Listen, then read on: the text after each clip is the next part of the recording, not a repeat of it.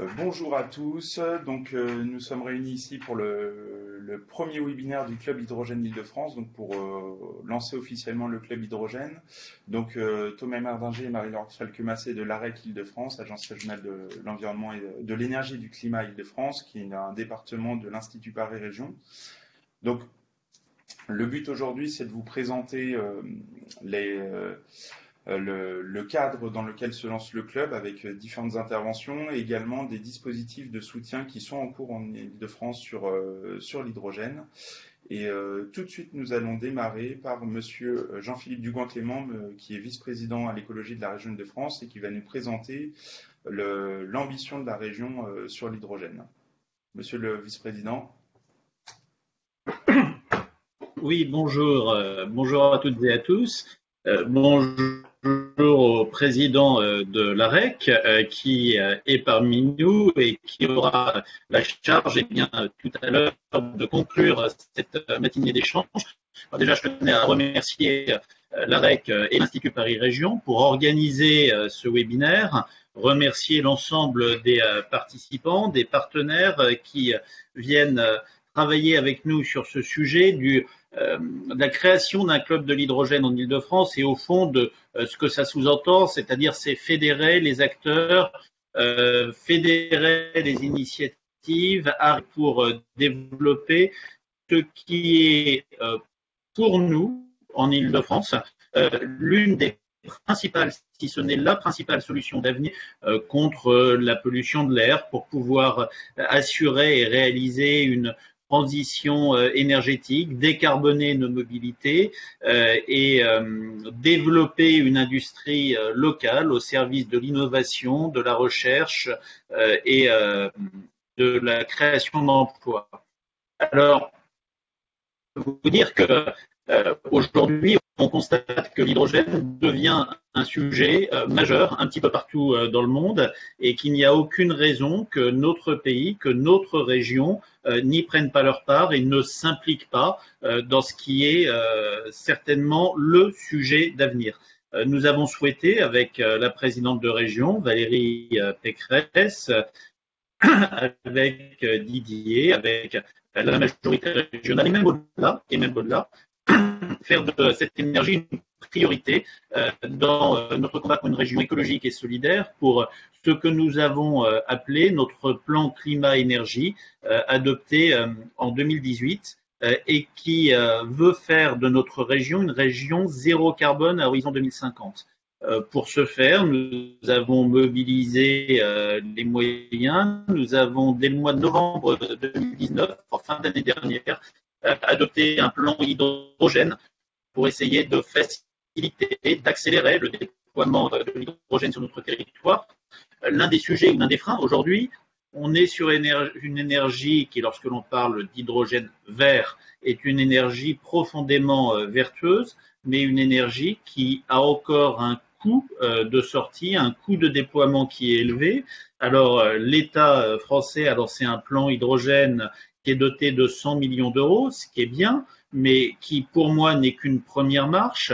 Euh, il y a un élément majeur euh, de la euh, sortie ou des plans de relance post-Covid au niveau mondial, c'est ce qu'a fait l'Allemagne.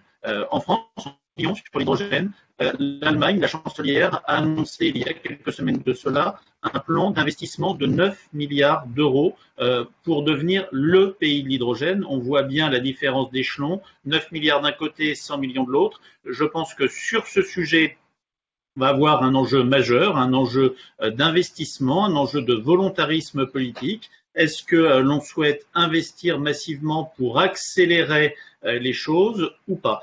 Euh, les réponses là-dessus dépendront malheureusement euh, ou heureusement, selon ce qui est fait, beaucoup plus de l'État que des collectivités locales. Mais en tout état de cause, pour ce qui nous concerne au niveau local et francilien, eh bien, nous souhaitons avancer et nous avançons fortement. la loi nous a confié un rôle de chef de fila dans le domaine de l'énergie. Nous le développons et nous avançons dans ce cadre-là pour l'hydrogène. Euh, c'est ce que euh, nous avons fait en lançant euh, un nouvel appel à manifestation d'intérêt, innovation et structuration de la filière hydrogène, qui doit pour nous être un outil d'aide à l'acquisition et au développement des véhicules hydrogène, de la production d'hydrogène en Ile-de-France. Le sujet, à défaut d'avoir un plan massif de développement porté par l'État, eh c'est d'arriver à développer des clusters vertueux en arrivant sur un même territoire, à allier à la fois la production, à l'action et la consommation, nous appuyant sur des flottes captives. C'est par exemple ce que nous euh, réalisons aujourd'hui en finançant sur Créteil euh, une unité de production d'hydrogène qui va être euh, en partie alimentée, qui va avoir débouché, pardon, en partie des flottes de bus, puisque dessus un accord a été passé pour que Île-de-France Mobilité puisse assurer 18 à 20 bus hydrogène pour amorcer euh, cette euh, rentabilité d'un site de production. C'est ce qu'on fait par ailleurs en Seine-et-Marne avec euh, un acteur de la grande distribution également pour pouvoir essayer de développer l'hydrogène autour d'écosystèmes qui puissent trouver une rentabilité. Alors, L'hydrogène, c'est aussi travailler sur son déploiement dans le domaine des mobilités et des transports publics. Vous le savez, ou si vous ne le savez pas, je vous le rappelle, euh, que euh, nous avons souhaité, avec la présidente de région, aller vers une région mobilité propre, euh, avec des flottes de bus intégralement propres sur Paris, la petite couronne pour 2025 et pour toute la région de 2030. Lorsque l'on parle de véhicules propres, on parle de véhicules électriques, de véhicules biogaz ou de véhicules hydrogène. Et d'ores et déjà, un certain nombre de bus hydrogène fonctionne en Ile-de-France depuis euh, maintenant l'année dernière et nous allons continuer euh, à déployer ces solutions techniques. Nous avons également, parce que travailler sur l'hydrogène, eh bien, c'est avoir un état des lieux, c'est avoir une cartographie, c'est avoir des perspectives et essayer de le faire ensemble avec tous les acteurs concernés. Euh, nous avons lancé avec l'ADEME, le CITEREC, la ville de Paris, la métropole, euh, une étude sur le potentiel hydrogène et les débouchés hydrogène, euh, notamment dans les transports publics en Ile-de-France. Ces résultats vont être euh, dévoilés extrêmement prochainement, je pense la semaine prochaine ou en tout début de semaine suivante, et sans vouloir aucunement écorner les effets d'annonce, je pense qu'ils seront extrêmement prometteurs et intéressants, et en tout cas, je vous donne rendez-vous sur ce sujet dans quelques jours. Et puis, euh, il y a un an cela, euh, quasiment jour pour jour, en juillet 2019, euh, Valérie Pécresse réunissait les opérateurs, les syndicats d'énergie, les associations, les entreprises pour lancer un label Île-de-France Territoire Hydrogène, qui avait pour objectif de poser un cadre commun, des bases d'engagement réciproques pour créer un écosystème favorable à l'essor de l'hydrogène. Et euh, un an après, eh bien, nous euh, portons sur les fonds euh, baptismaux ce club des acteurs de l'hydrogène, qui sera un espace permanent de partage d'expériences, qui sera conçu comme un outil opérationnel pour fédérer les initiatives, pour accompagner et aider à porter des projets. Et, euh, j'ai toute confiance euh, dans la REC euh, qui organise cette matinée, qui lance ce club et bien pour en devenir, pour le faire vivre. Et en tout cas, c'est une très belle mission qui s'ouvre pour ce département de l'Institut Paris Région. Je vous souhaite à tous des travaux fructueux, intéressants et une longue vie à notre club. Merci Président, c'était très intéressant. Merci Jean-Philippe. En tout cas, on va essayer de s'inspirer de, tes propos pour la suite. Merci Monsieur le Vice-président. Donc euh, nous allons reprendre la main. Hop. Euh, donc euh, avant de, passer à la suite, on souhaite hop, voilà, vous rappeler le. Alors attendez. Oui, il ne me met pas. Excusez-moi. Voilà. Alors, vous avez la présentation de cette matinée, donc euh, avec Monsieur Dubois-Clément qui vient de nous présenter l'ambition de la région, euh, avec euh, à la fois sur la production, les écosystèmes et la mobilité. Ce qu'on souhaite maintenant vous présenter, c'est quelle dynamique de l'hydrogène en Europe et en France, parce qu'en ce moment, avec les, différents travaux sur les plans de relance, l'hydrogène est au cœur des débats, y compris dans l'actualité. Ensuite, une petite table ronde sur les dispositifs régionaux de soutien avec la région, l'ADEME de france et la Banque des territoires. nous nous qui allons présenter le club hydrogène, qui a les premières, les premières de développement sur ce club et une clôture. quelques consignes euh, vous pouvez poser des questions aux intervenants dans la section questions-réponses. Donc effectivement, il y a, déjà eu des, premières remarques sur la, qualité du son. Euh, les présentations, les quelques présentations qui seront faites seront diffusées sur le site de l'AREC prochainement. Le webinaire est enregistré pour une diffusion en replay euh, aussi pour diffuser plus largement. Et en fin de questionnaire, vous aurez un questionnaire rapide sur le club qui, vous sera proposé et qui va permettre aussi de co-construire les activités du club. Euh, voilà, très rapidement. Je laisse la parole à Monsieur Philippe Boucli, qui est le président de la FIPAC, Association française de l'hydrogène, qui euh, donc représente les, acteurs de, la filière en, France, pour nous dresser un panorama de la riche actualité et aussi du rôle de la, FIPAC euh, dans, cette question de l'hydrogène. Monsieur Boucli, c'est à vous.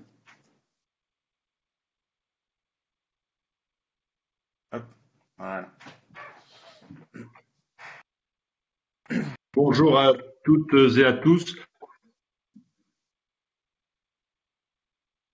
J'ai un énorme écho.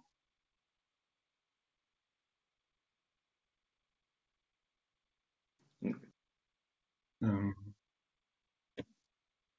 On vous entend très bien, Monsieur Bouclin. Oui, mais j'ai un écho, j'ai un retour. Ah. Bah, on éteint nos micros. Euh, Allez-y. On vous entend très bien. Est-ce que. Vous êtes connecté deux oui, fois. mais j'ai toujours le retour. Je. Qu'est-ce que j'ai? Vous êtes connecté deux fois.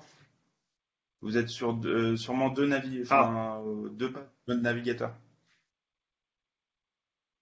Est-ce que c'est mieux? C'est parfait pour nous. Nous, on vous entend très bien. Allez-y, on vous entend très bien. Bon. Très bien. Alors,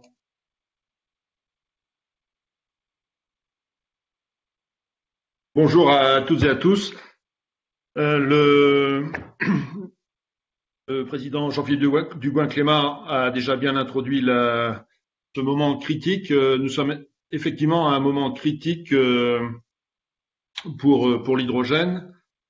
On assiste actuellement à un alignement des, des, planètes. Des décisions importantes vont être prises pour l'hydrogène euh, et elles vont, être, euh, vont intervenir dans les prochaines semaines, peut-être d'ici la fin du mois de juillet, probablement plutôt à la rentrée. Et le but de ma présentation, ça va être de vous montrer que ce moment est véritablement critique et que, et Jean-Philippe Ducoin-Clément l'a déjà dit un peu en, entre les lignes, un plan hydrogène 2.0 ambitieux est nécessaire et pour que ce plan, enfin, et l'heure est venue pour que ce plan advienne. Alors, je vais d'abord euh, revenir sur, euh, sur la FIPAC. Je dirais que la FIPAC euh, poursuit sa dynamique de, développement et que les l'adhésion, les adhésions se, multiplient de, jour en jour. Nous étions 120 euh, en début 2019, 160 en fin d'année, et là nous avons dépassé le cap des 190. Donc une, une adhésion, euh, une dynamique d'adhésion très forte, avec, euh, rassurez-vous, je ne vais pas lire l'ensemble de, la slide, avec des grands groupes. Euh, les derniers arrivés sont par exemple Valurec ou Schlumberger. Des, tout un écosystème de PME, PMI et, euh, mais ça, vous le savez également, ce qui fait notre particularité, c'est euh, l'adhésion d'un grand nombre de collectivités territoriales et notamment euh, l'ensemble des régions françaises, dont évidemment la, la région Île-de-France. Monsieur Bouclier, on ne voit pas votre présentation. Ah. Si vous voulez, si vous voulez, je la passe. Euh, oui, volontiers. Mais alors, attendez, comment je redis? Euh, Pourtant, j'étais en partage d'écran. Ah, bah, bon. Bah, à ce moment-là, je, je, euh, je mets votre présentation. Hop. Hop. Votre plein écran.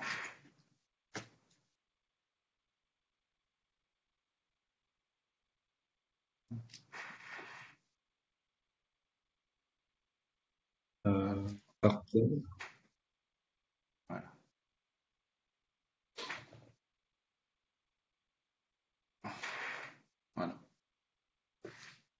C'est bon, c'est en place. C'est en place, Monsieur Bouclier. Vous pouvez. euh, Alors pourquoi, pas, euh, pourquoi moi j'ai pas de retour alors, à ce moment-là? Oula.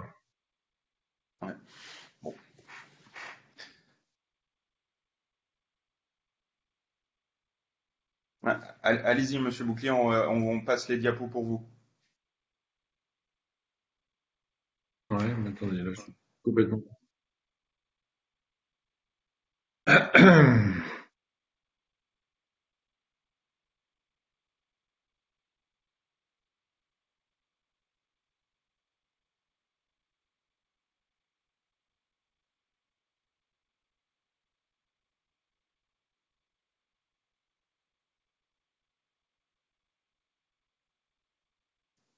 Voilà.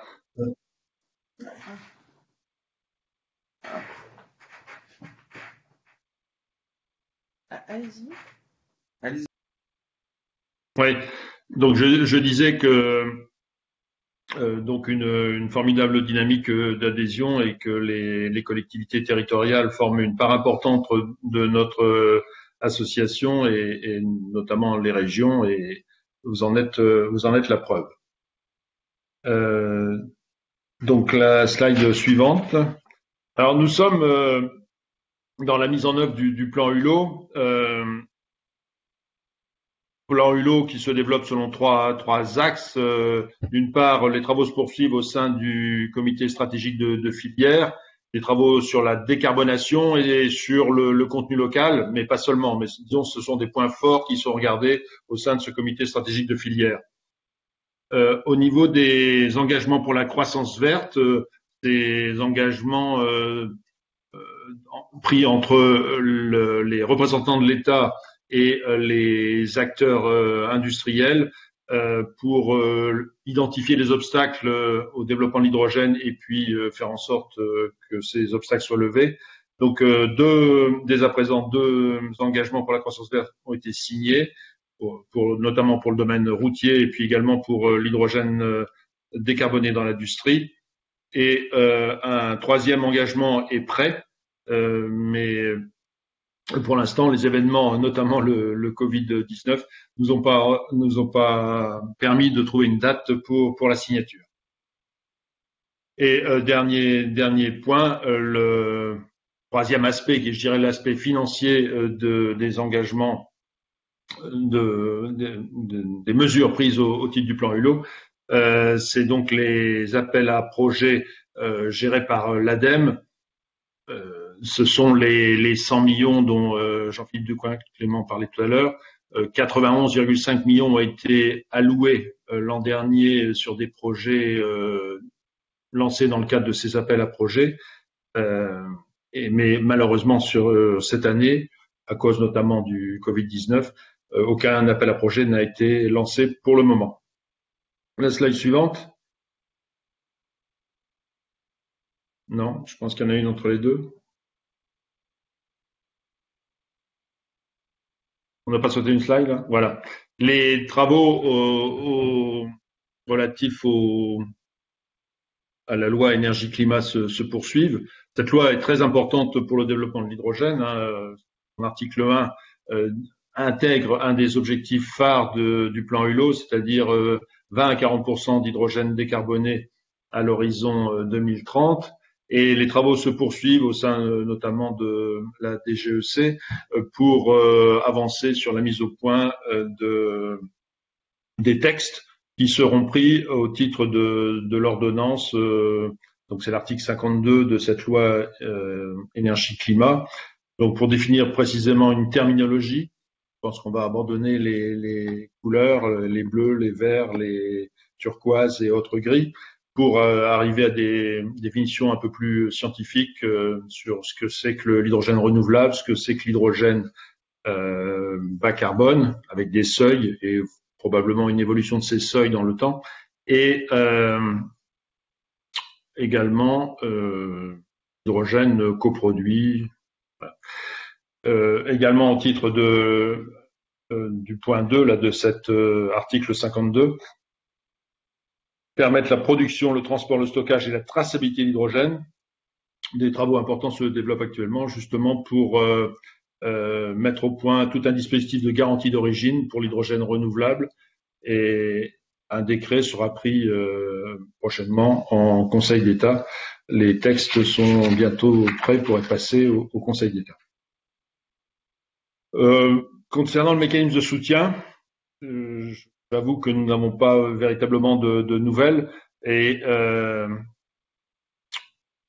on peut penser que dans le plan 2.0 que nous appelons de nos voeux, ce, ce, point sera, traité, ou du moins toute une, euh, architecture de, soutien sera mise en place pour euh, euh, développer l'hydrogène dans toutes ses applications. La slide suivante. On a néanmoins euh, déjà un certain nombre d'applications qui se, qui, sont, qui se développent. Euh, en haut à, droite, euh, vous avez sur, votre écran donc les, les Mirai et, et autres et autres Nexo ou Hyundai X35 de la société Hype. À ce jour, il y a plus de 100 véhicules, à, 100 taxis à hydrogène qui euh, circulent dans Paris. Euh, il devrait y en avoir de l'ordre de 600 d'ici la fin de cette année. Quatre stations permettent la recharge en hydrogène de ces véhicules, dont une qui est bien connue à l'Alma, une autre qui est à, l'entrée de l'aéroport d'Orly, une autre à, à Roissy euh, et une quatrième en banlieue. Deux nouvelles stations d'ici la fin 2020, dont une porte de Saint-Cloud et deux supplémentaires en 2021 et on s'attend à une vingtaine de stations supplémentaires d'ici 2024. Le, le, je ne vais pas énumérer, passer en vue l'ensemble de ces applications. Vous voyez donc le, train Alstom qui, qui, roule en Allemagne depuis euh, euh septembre dernier. Euh, les flottes captives de, de Kangoo Z2 à, à hydrogène, qui il y a près de 400 qui roulent en France actuellement et à ma connaissance, ce sont les seuls véhicules utilitaires à hydrogène qui existent dans le, dans le monde. Euh, en bas à droite, euh, l'aéroport de, de, Toulouse, la société iPort a été constituée euh, avec la région Occitanie et puis la, et la société Engie. Euh, en région Auvergne-Rhône-Alpes, euh, société Impulsion a, démarré et donc activement, euh, s'occupe activement du développement du projet Zero Emission Valley, qui va consister à développer euh, à peu près 1200 véhicules, euh, véhicules utilitaires légers en Auvergne-Rhône-Alpes et une vingtaine de stations, une vingtaine de, stations de, recharge. En bas à gauche, vous avez le bus Van Hol de, de Pau. Huit bus à haut niveau de service ont été mis en service en fin d'année dernière. Euh, bon, euh, les vélos à hydrogène qui ont connu leur heure de gloire au G7 à Biarritz euh, l'an dernier et la navette Navibus qui permet de traverser, de traverser l'Erdre à Nantes.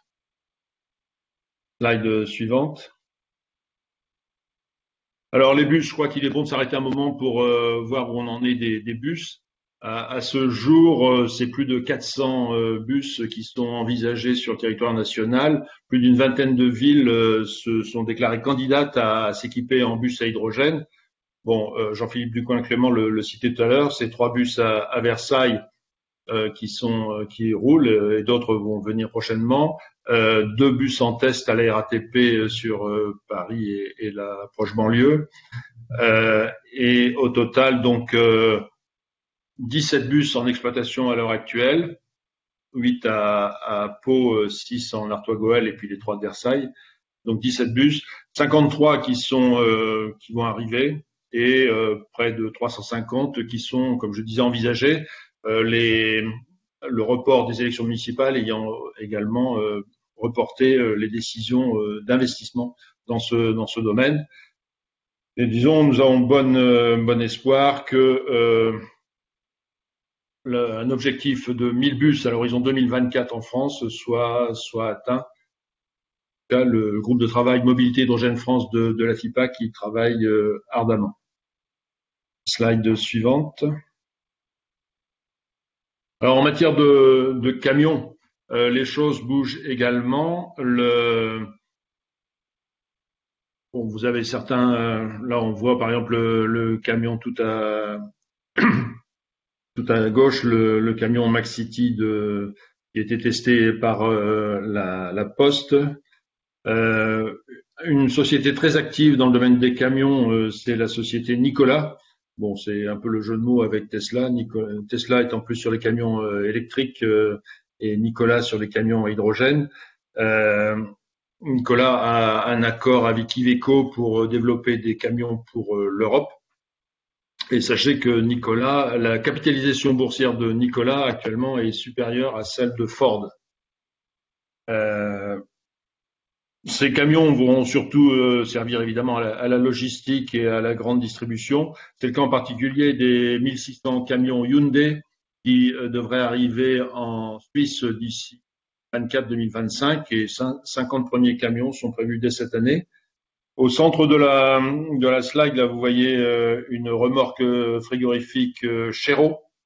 Chéreau prévoit de produire 750 remorques frigorifiques d'ici 2023. Euh, Et sachez que donc dans la région Île-de-France, vous avez également en, bas à gauche là des camions pour disons transporter les, conteneurs dans les ports, les sortir des, ports et la société Gossin notamment travaille euh, ardemment pour euh, justement euh, appliquer l'hydrogène à ces engins de manutention dans les ports et pour ces camions. Bon, la liste serait trop longue, je vais pas épiloguer. simplement sachez que donc en région Île-de-France à Grèce-Armavilliers, la société PVI est vraiment dans les starting blocks pour donc en Seine-et-Marne et dans les starting blocks pour mettre au point des bennes à ordures euh, à hydrogène. Ils sont déjà euh, producteurs de bennes à ordures euh, électriques et ils sont prêts pour autant que les commandes, des commandes significatives viennent pour équiper les, les collectivités. Slide suivante. Donc l'ensemble de ces, de ces projets euh, sont, vous pouvez les retrouver sur l'observatoire de l'hydrogène, euh, Vigie, sur le site de, la FIPAC. Euh, ça vous montre le, dynamisme de, la filière en France et euh, l'émergence de ces projets. Il y a deux ans, euh, on en était à des présentations PowerPoint. Maintenant, il y a des réalisations concrètes qui sont visibles sur le territoire national. Slide suivante.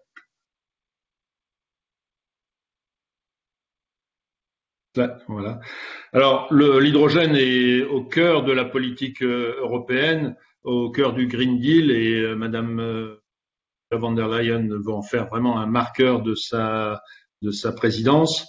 Euh, Thierry Breton, le commissaire au marché intérieur, a largement développé le point, enfin l'hydrogène, dans sa déclaration sur la politique industrielle le 10 mars dernier. Et après-demain, donc mercredi, il y aura une communication sur la stratégie hydrogène de l'Europe, sur l'intégration sectorielle et sur la Clean Hydrogen Alliance, l'alliance pour un hydrogène propre. Euh, bon, j'en dis pas plus puisque euh, Jean-Christophe Lannoy, euh, qui parle après moi, développera ce, point. Slide suivante.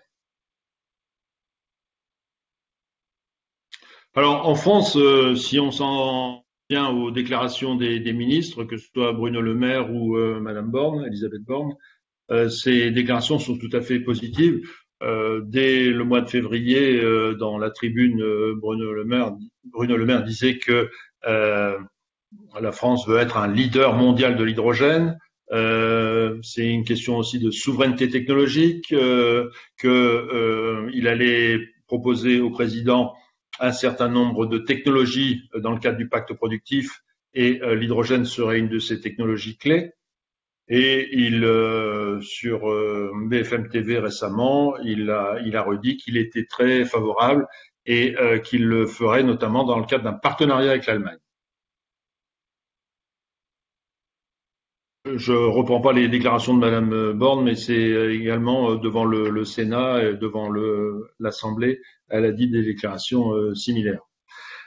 Alors, autre indice ou autre élément qui marque euh, clairement euh, l'enthousiasme et le dynamisme de, l'ensemble de la filière, c'est le, succès qu'a rencontré l'appel à manifestation d'intérêt lancé par euh, le gouvernement en début d'année. Le, but était double. Il était à la fois de euh, préparer les cahiers des charges des appels à projets que lancerait euh, l'ADEME au cours de l'année 2020 et puis les années suivantes, et également mesurer l'intérêt qu'il y aurait pour la France à rejoindre un IPCEI. Alors, mot euh, barbare, euh, c'est un projet important d'intérêt commun européen. Euh, être, c'est très important ce, point puisque être, être, faire partie d'un IPCEI euh, permet aux États euh, de, ça permet de réduire les contraintes qui pèsent sur les, aides d'État aux, entreprises, et donc ça permet aux États de financer à la fois de l'innovation, mais également les premiers déploiements commerciaux. Et donc, c'est très important d'être que la, France rejoigne un IPCI européen. C'est déjà ce qui s'est passé sur la batterie. On a vu donc euh, des décisions prises au niveau des, gigafactories qui vont être construites en Europe, tant en France qu'en euh, Allemagne. Pardon. Le, donc cette, euh, cette, non, un peu trop vite. Je disais, cette AMI a connu un, un très grand, euh, un très grand succès puisque c'est 160 dossiers qui ont été, qui ont été reçus pour un montant, c'est Madame Borne qui le disait devant le Sénat récemment, pour un montant global, il s'agit d'un montant global d'investissement euh, évalué à 36 milliards d'euros, qui est tout à fait considérable. La suivante. Donc le, le, le, grand mérite de, de cette AMI, c'était également d'avoir fait émerger euh, des écosystèmes, euh, des écosystèmes territoriaux euh, qui commencent à prendre de, de l'ampleur. Et euh, alors le, disons le, le point à améliorer, euh, c'est que les projets tels qu'ils apparaissent semblent sans grande coordination entre eux. Et euh, donc il y a maintenant, c'est notre, mission à tous, à accomplir, et je pense que le club euh, hydrogène de la, de la région pourra y contribuer très valablement.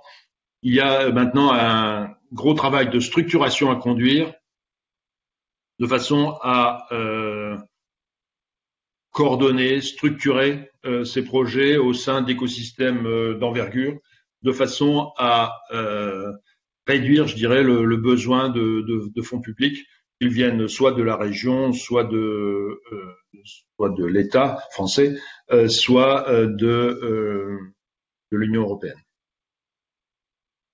Slide suivante. Et donc, à, terme, le, but de, cette démarche de structuration serait de dégager des écosystèmes d'envergure nationaux ou euh, européens, avec donc des, des, connexions très fortes. Là, on le voit euh, sur certains écosystèmes, des connexions très fortes avec les pays voisins, que ce soit avec l'Italie, avec la Suisse, avec l'Allemagne, avec le Luxembourg, plus au sud avec avec l'Espagne et plus au nord avec la, la Belgique. Donc, euh, dégager des écosystèmes territoriaux d'envergure euh, et euh, s'appuyer sur les axes logistiques euh, qui existent actuellement, que ce soit les, c'est la slide, c'est la, la carte de, de gauche euh, sur votre écran, le s'appuyer sur les réseaux d'autoroutes, de, voies ferrées, de, de, canaux et également de réseaux de, de gaz euh, et d'électricité.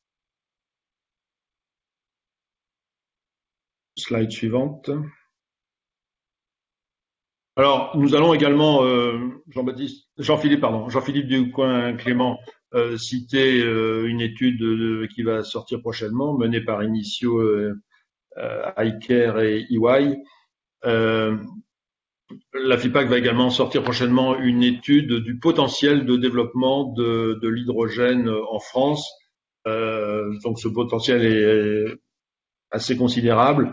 Euh, pour euh, remplacer euh, l'hydrogène qu'on va appeler gris, enfin, d'origine fossile, par de l'hydrogène renouvelable ou bas carbone dans le secteur de la mobilité, donc là avec un montant de l'ordre de 270 000 tonnes, ou dans le domaine de l'industrie et notamment de la sidérurgie pour plus de 700 000 tonnes, avec des perspectives au-delà dans le domaine du raffinage et de l'ammoniac pour 300 000, plus de 300 000 tonnes encore.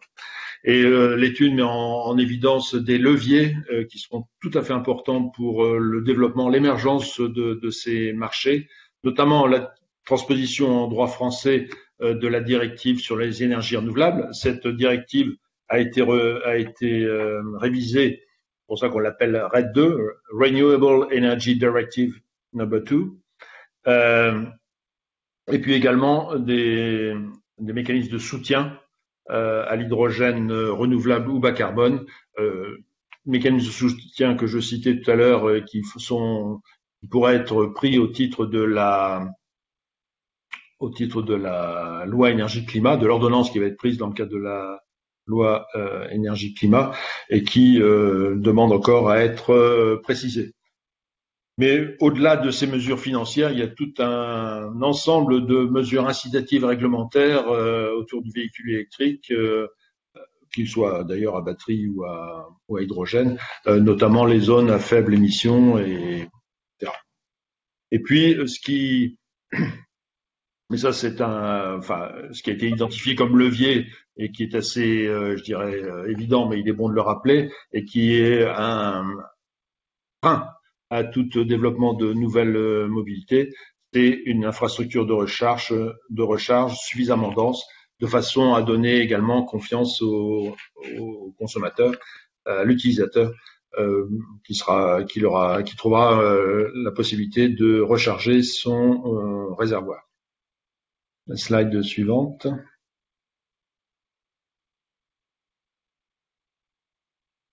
Alors, le, ce que je voudrais terminer avant de, avant de conclure, terminer sur un aspect, euh, mais également Jean-Philippe Ducoin-Clément l'a cité, au-delà de l'aspect euh, lutte contre le changement climatique, au-delà de l'aspect euh, amélioration de la qualité de l'air de nos villes et de nos pôles il y a euh, dans cette question un aspect fondamental qui est euh, l'aspect industriel pour développer l'emploi, l'emploi local et euh, développer le contenu local de nos technologies.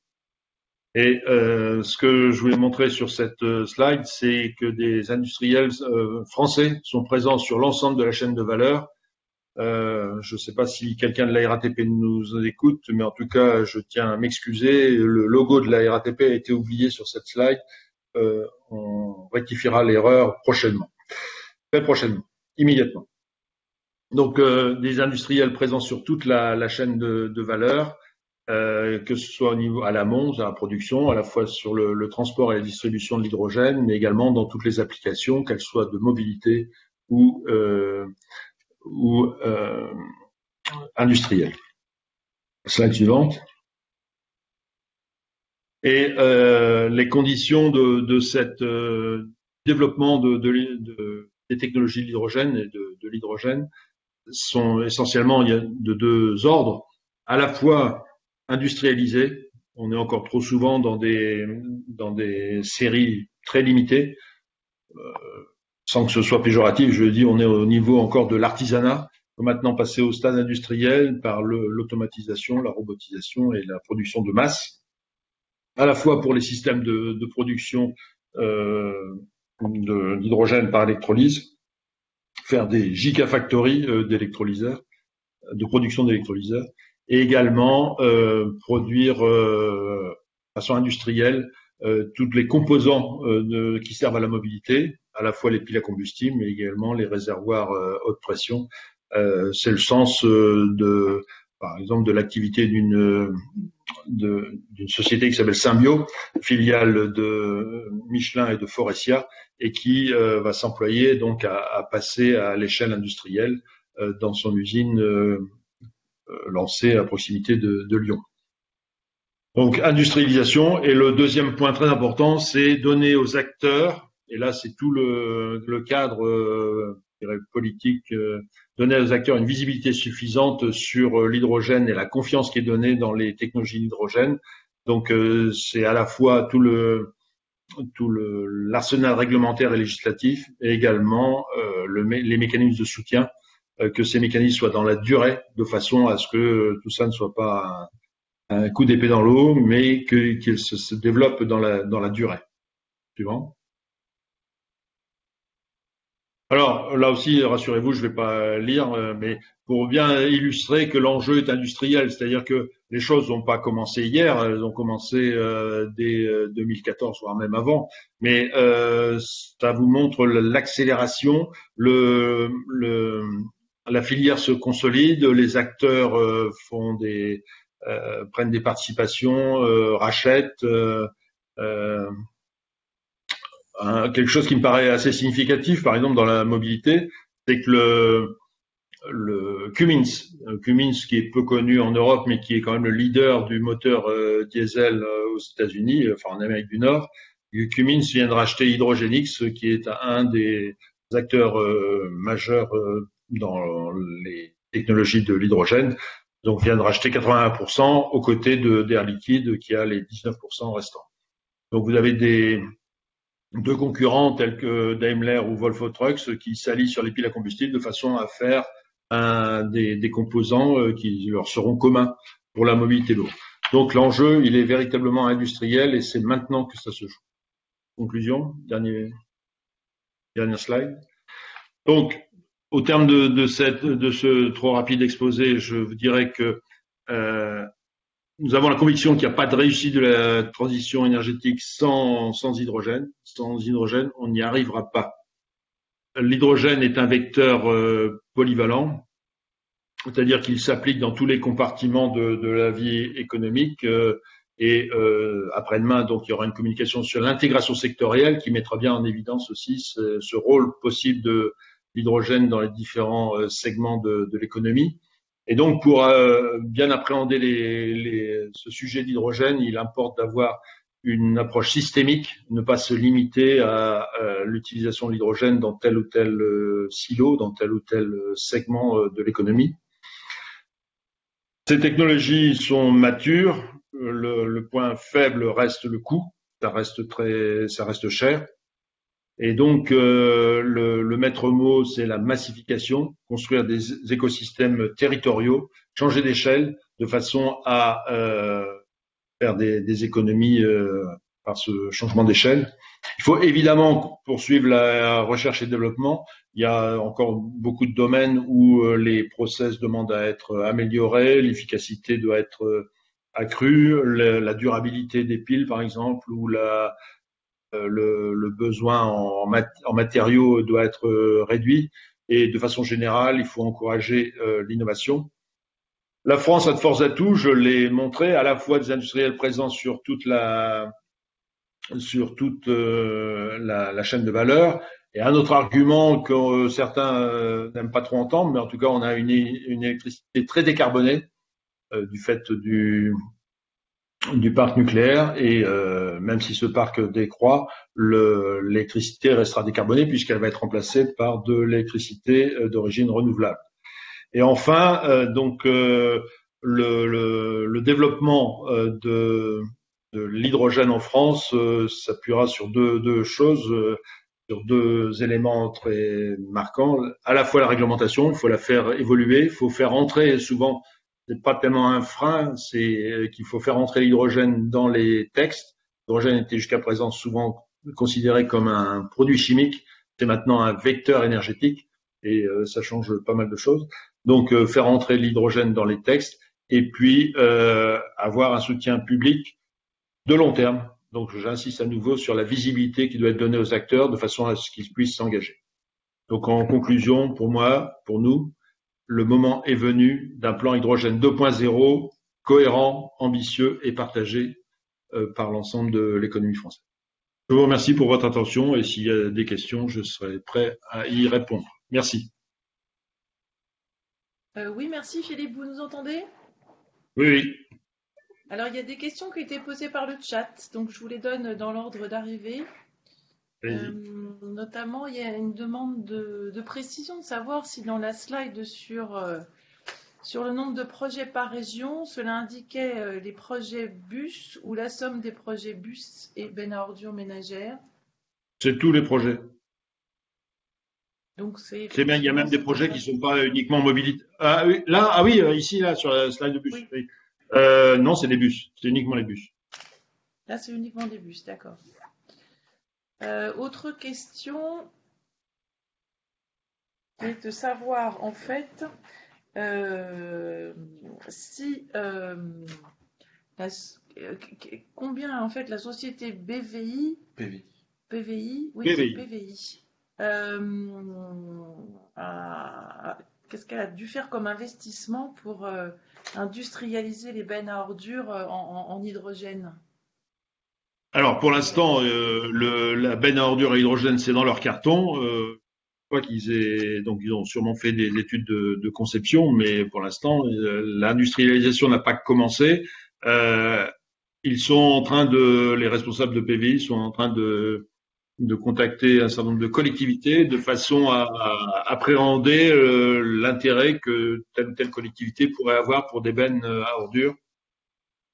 Ouais, il faut, et pour ça, ça demande un peu de temps puisqu'il faut quand même euh, euh, faire un plan d'affaires et euh, bien apprécier euh, que la benne à hydrogène apporte un plus par rapport à la benne euh, à batterie.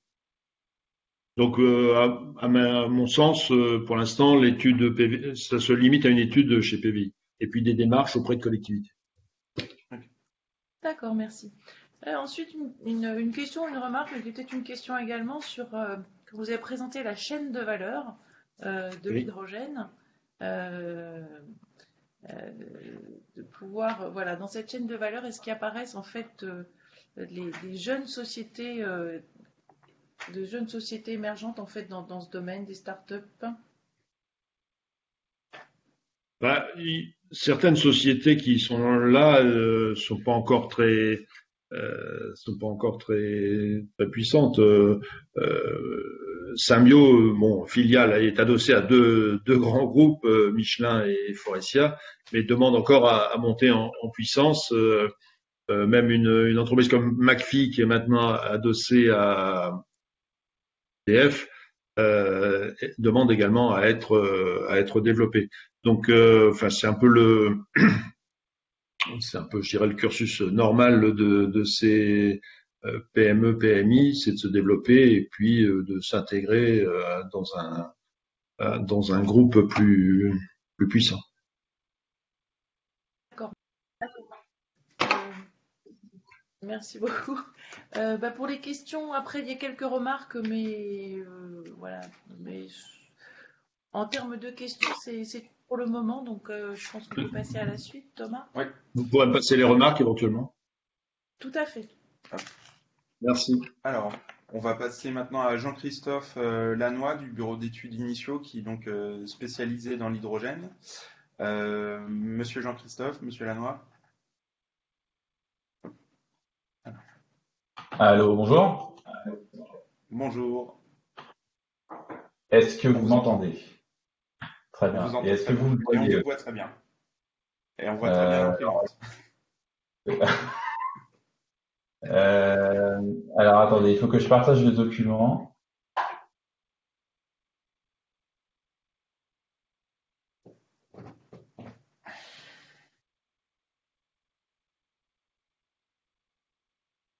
Hop.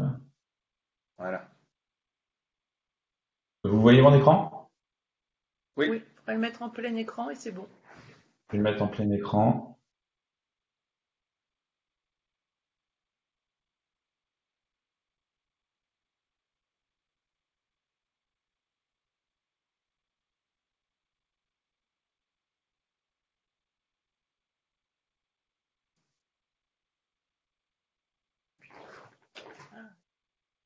Et c'est bon.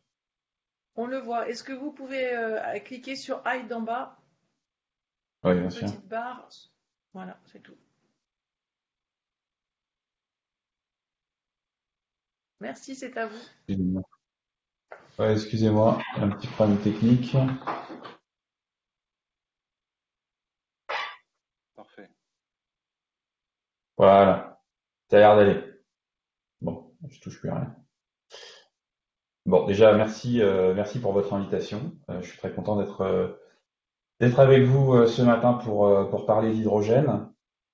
Bah, la présentation que, que, je, que je vous propose vise à vous donner un petit aperçu de qui est en train de, de, de, se dérouler dans la filière au niveau européen. C'est très en ligne et totalement raccord avec euh, ce, que, ce que Philippe vient de présenter, euh, et c'est placé euh, volontairement sous le, sous le signe de, de l'accélération et du passage à l'échelle.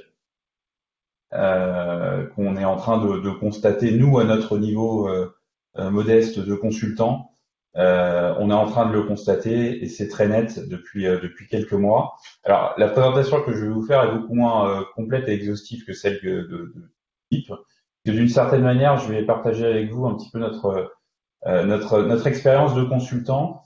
Euh, on est, euh, euh je dirais, euh, structurellement, on intervient assez en amont de projets, des déploiements, déjà au niveau de la, de la réflexion stratégique des industriels, mais aussi dans, dans, toute la phase de, de, de développement des projets jusqu'à la décision finale d'investissement. Donc structurellement, on est assez en avance de phase, euh, je dirais, sur les sur les, les, tendances qu'on peut qu'on peut constater sur le terrain, euh, et on reçoit beaucoup de, de, de signaux signaux faibles, euh, un petit peu en avance par rapport au reste de l'écosystème, et c'est ça que je voudrais partager avec vous euh, aujourd'hui. Alors déjà pour commencer, pour ceux qui ne nous connaissent pas, euh, nous sommes un cabinet de conseil en stratégie spécialisé dans le domaine de la transition énergétique avec un avec un, un, focus très fort sur la filière hydrogène. On a été créé en 2006 euh, et on a toujours travaillé euh, euh, beaucoup sur l'hydrogène. Initio, c'est la concaténation du H d'hydrogène et de initio en latin qui veut dire le début. on a été créé à Bruxelles. On a un bureau à Paris que je, dirige. on est également très présent en Amérique latine dans plusieurs pays et également en Chine. Et on accompagne à la fois les décideurs publics et privés dans leur réflexion stratégique, mais aussi dans la mise en œuvre de leurs projets industriels, que ce soit en France euh, ou à l'international. Donner un petit euh, panorama de, euh, des gens avec qui on travaille, c'est globalement l'écosystème hydrogène, que ce soit les grands industriels, les équipementiers, les investisseurs, mais également les pouvoirs publics à tous les niveaux. Et je dois mentionner aussi, enfin ça a été mentionné tout à l'heure, l'étude qui est en cours au niveau de, de France, euh, initiaux effectivement avec euh, ses partenaires EY et Aker euh, sont ravis d'avoir eu la d'avoir d'avoir eu la chance de, réaliser cette étude. Euh, alors, il y a deux ans, on a été contacté par un industriel qui s'appelle Nourion, euh, qui est euh, anciennement Axonovel, donc un grand industriel de la chimie. C'était en 2018. Euh, qui nous a dit on veut développer le plus gros projet d'électrolyse en Europe, euh, 20 mégawatts aux Pays-Bas, dans le nord des Pays-Bas, dans une région euh, qui s'appelle Groningen, euh, pour faire du euh, biométhanol, enfin de exactement du méthanol de synthèse, et on veut déposer ce projet au FCAJU à l'appel à projet de 2018. Alors nous, on était très fiers parce qu'à l'époque, c'était effectivement l'un des plus gros projets d'électrolyse en préparation. Il se trouve que le projet a été lauréat, que nous, on a pu continuer à accompagner sur divers sujets, les études de business plan, les études technico-économiques, etc. Euh, et le projet démarre aujourd'hui, euh, enfin, démarrait depuis quelques mois déjà, euh, dans un paysage qui a, pour le coup, radicalement changé.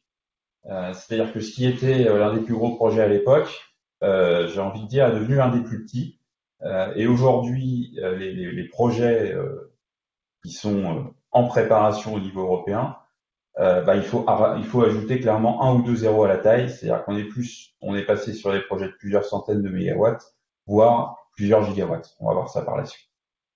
Euh, malgré tout, ce projet euh, portait en lui les germes de ce qu'on voit aujourd'hui. Déjà sur l'augmentation de l'échelle. Alors, ça s'est accéléré, mais il y avait déjà cette volonté des industriels de, de, de, de, de passer à une échelle supérieure par rapport à ce qui se faisait à l'époque pour réduire les coûts. Euh, deuxième élément, euh, le, méthanol. porté par assis, je dirais, sur un modèle économique découlant de ce qu'on va voir tout à l'heure d'une directive européenne qui s'appelle la RED 2. Ça aussi, je dirais, c'est une composante très forte qu'on retrouve dans de, de nombreux projets à grande échelle aujourd'hui à travers l'Europe. Alors justement, aujourd'hui à travers l'Europe, je vous disais, le paysage a radicalement changé. Alors sur ce slide, euh, on vous montre euh, qu'un petit échantillon des nombreux, je pense qu'il y a aujourd'hui des dizaines de projets euh, en développement en Europe sur des tailles allant de 100 MW à plusieurs gigawatts. donc la réalité est beaucoup plus fournie en projet que ce que vous, pouvez voir sur ce, sur ce transparent. Euh, ceci étant, la tendance est là. Euh, aujourd'hui, on est sur euh, beaucoup de, de, très gros projets. Alors évidemment, il ne s'agit pas d'installer 100 MW ou 1 gigawatt demain matin. tout ça se, se, s'appréhende et s'envisage sur des, des, trajectoires de déploiement de, de plusieurs années. mais le, le, passage à l'échelle a démarré, est en train de démarrer. Voilà. Euh, ces projets sont aujourd'hui euh, en phase de euh, bientôt à la décision finale d'investissement, euh, en phase de d'études de faisabilité très avancées dans différents secteurs, que ce soit le raffinage, la, la, grande industrie. on parlait du méthanol de synthèse tout à l'heure. Il y a de nombreux projets qui sont dans ce dans ce domaine-là. Euh, on parle aussi d'injection dans les réseaux de gaz naturel. On parle aussi sur certains projets, euh, et c'est une surprise, euh, de, production d'électricité à, grande échelle dans des centrales, dans des centrales à gaz, en mélange avec du gaz naturel, voire 100% hydrogène. c'est une surprise parce que c'est ça, c'est des, des applications et des modèles économiques qui avaient été un petit peu relégués ces dernières années du fait des coûts.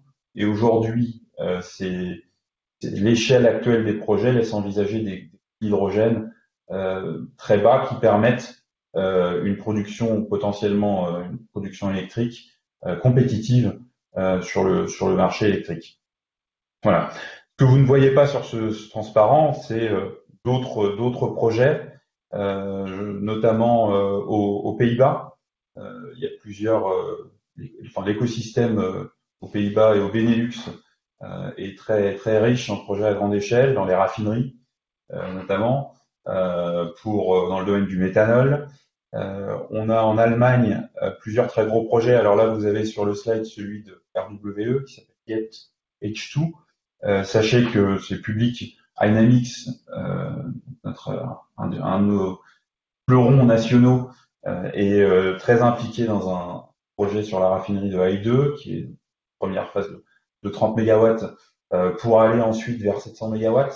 Euh, dans un premier temps pour euh, décarboner l'hydrogène de la raffinerie, dans un deuxième temps pour fabriquer des, des carburants de synthèse pour l'aérien, du kérosène de synthèse.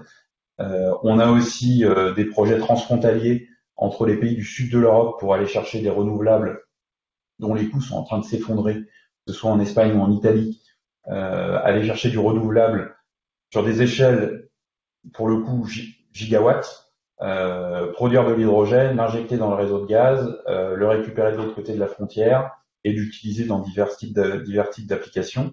Et on a aussi, euh, c'est à noter, en Afrique du Nord, plusieurs projets pour produire notamment du méthanol de synthèse pour importer en Europe, pour utiliser dans le cadre de RED 2, on va y revenir dans, quelques, dans quelques secondes, donc là, en, en, en, Afrique du Nord, euh, notamment au Maroc, on est sur des projets de, plusieurs, plusieurs centaines de mégawatts. Euh, donc la tendance est là, et maintenant on va essayer de comprendre pourquoi. Il y a un certain nombre de, de drivers, de moteurs qui peuvent expliquer cette dynamique. D'abord, une vision politique portée au niveau européen et qu'on retrouve, qui se décline dans plusieurs pays. Euh, mais aujourd'hui, je pense qu'au niveau euh, niveau bruxellois, euh, et ça c'est ce qui info qui remonte de mes collègues là-bas, on n'est plus du tout dans la phase de conviction, on est passé dans la phase de l'action politique. on a aujourd'hui une stratégie européenne énergétique qui fait la et qui fait la part belle à l'hydrogène. On a un plan de relance aujourd'hui qui fait aussi la qui n'est pas encore annoncé mais qui va faire la part belle à l'hydrogène. On a une stratégie européenne hydrogène qui n'est pas encore été officiellement annoncée, mais des, des drafts du papier ont, euh, des drafts préliminaires ont, ont fuité euh, et on est sur des plans extrêmement ambitieux. Euh, donc tout part de là. Aujourd'hui, il y a une vision politique alignée à une vision industrielle euh, qui est clairement centrée sur le passage à l'échelle. On a aussi des réglementations, des textes qui sont euh, extrêmement favorables et qui aujourd'hui créent un espace économique pour des déploiements euh, à l'échelle plusieurs centaines de mégawatts, voire plus, sur des business, sur des business models euh, viables, rentables. Je pense notamment à une directive qui s'appelle RED 2. C'est un terme un petit peu barbare, euh, il est possible que certains d'entre vous n'en aient pas encore, entendu parler. Euh, c'est la deuxième directive européenne sur les énergies renouvelables.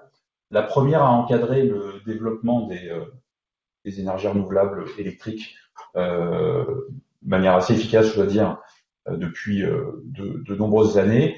La nouvelle directive vise à introduire encore plus de renouvelables. Alors pas là pour le coup pas dans le secteur électrique qui, qui commence à être relativement bien pourvu, mais dans les autres secteurs de l'économie et notamment dans le secteur des transports. Et dans le secteur des transports, RED 2 va imposer un objectif contraignant aux distributeurs de carburant de 14% de carburant renouvelable à l'horizon 2030.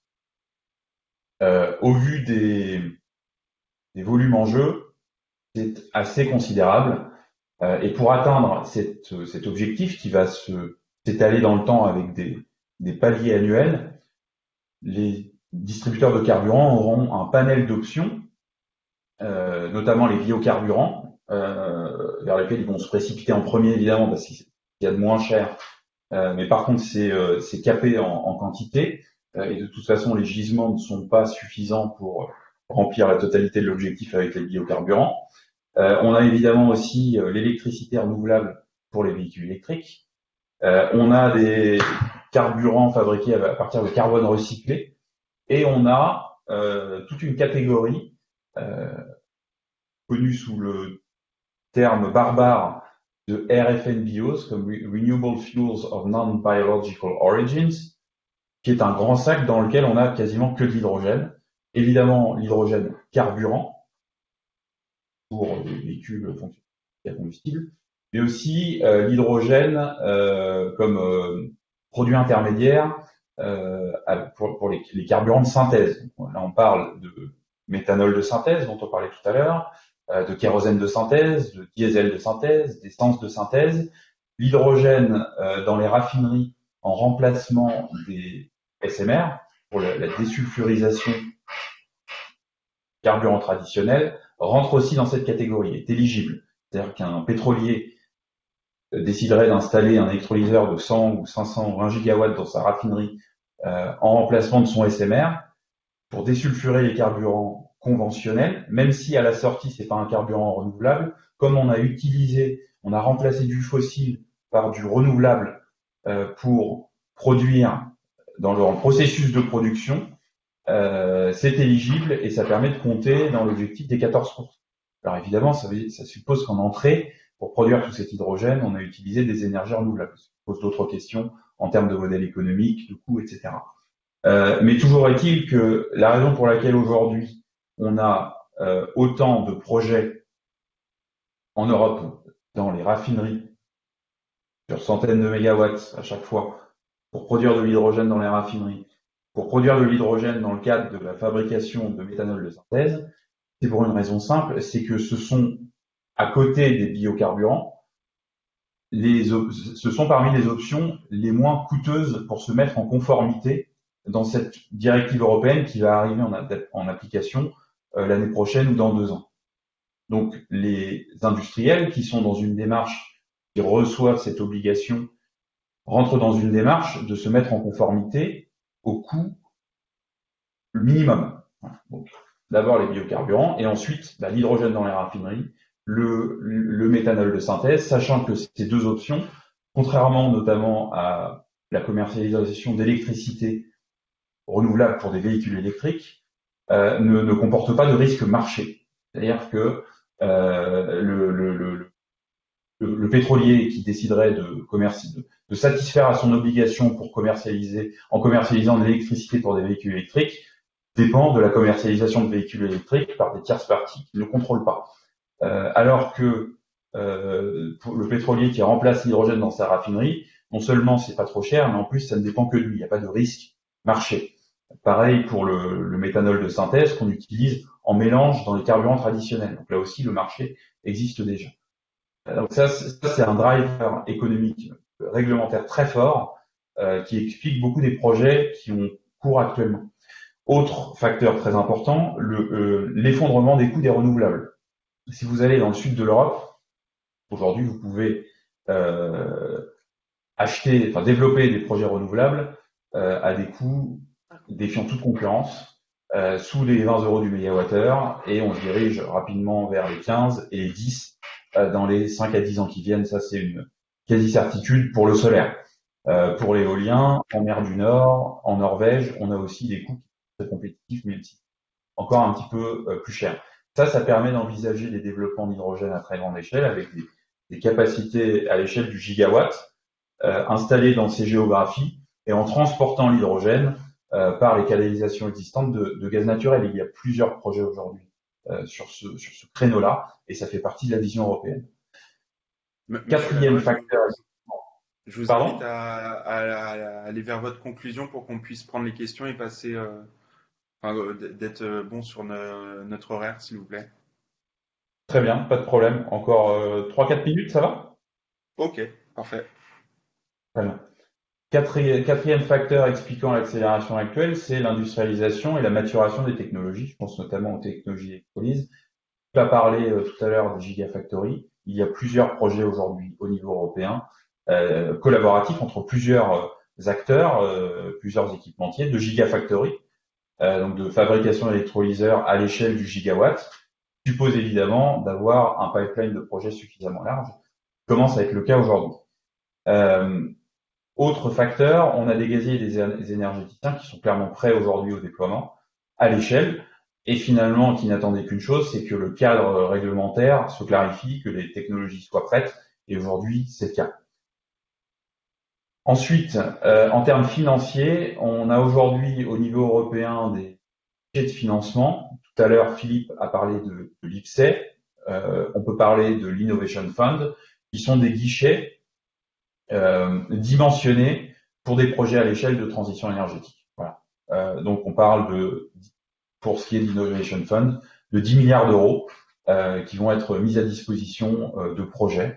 Euh, alors pas que pour l'hydrogène, pour tout type de projet de transition énergétique, mais notamment pour les projets à l'échelle de, de, de, de, ce dont on parle tout à l'heure. et ça, c'est clairement un accélérateur. Euh, toute cette, euh, je dirais, cette évolution, cette dynamique euh, attire évidemment la finance privée. C'est quelque chose qu'on constate nous aussi. Euh, c'est que aujourd'hui, les projets en cours ont passé une certaine taille critique au-dessus de laquelle, un seuil au-dessus duquel euh, les, les, les, financiers, les investisseurs, les banques euh, commencent à prêter l'oreille. Et ces projets arrivent sur le, sur le, sur le bureau des banquiers et des investisseurs.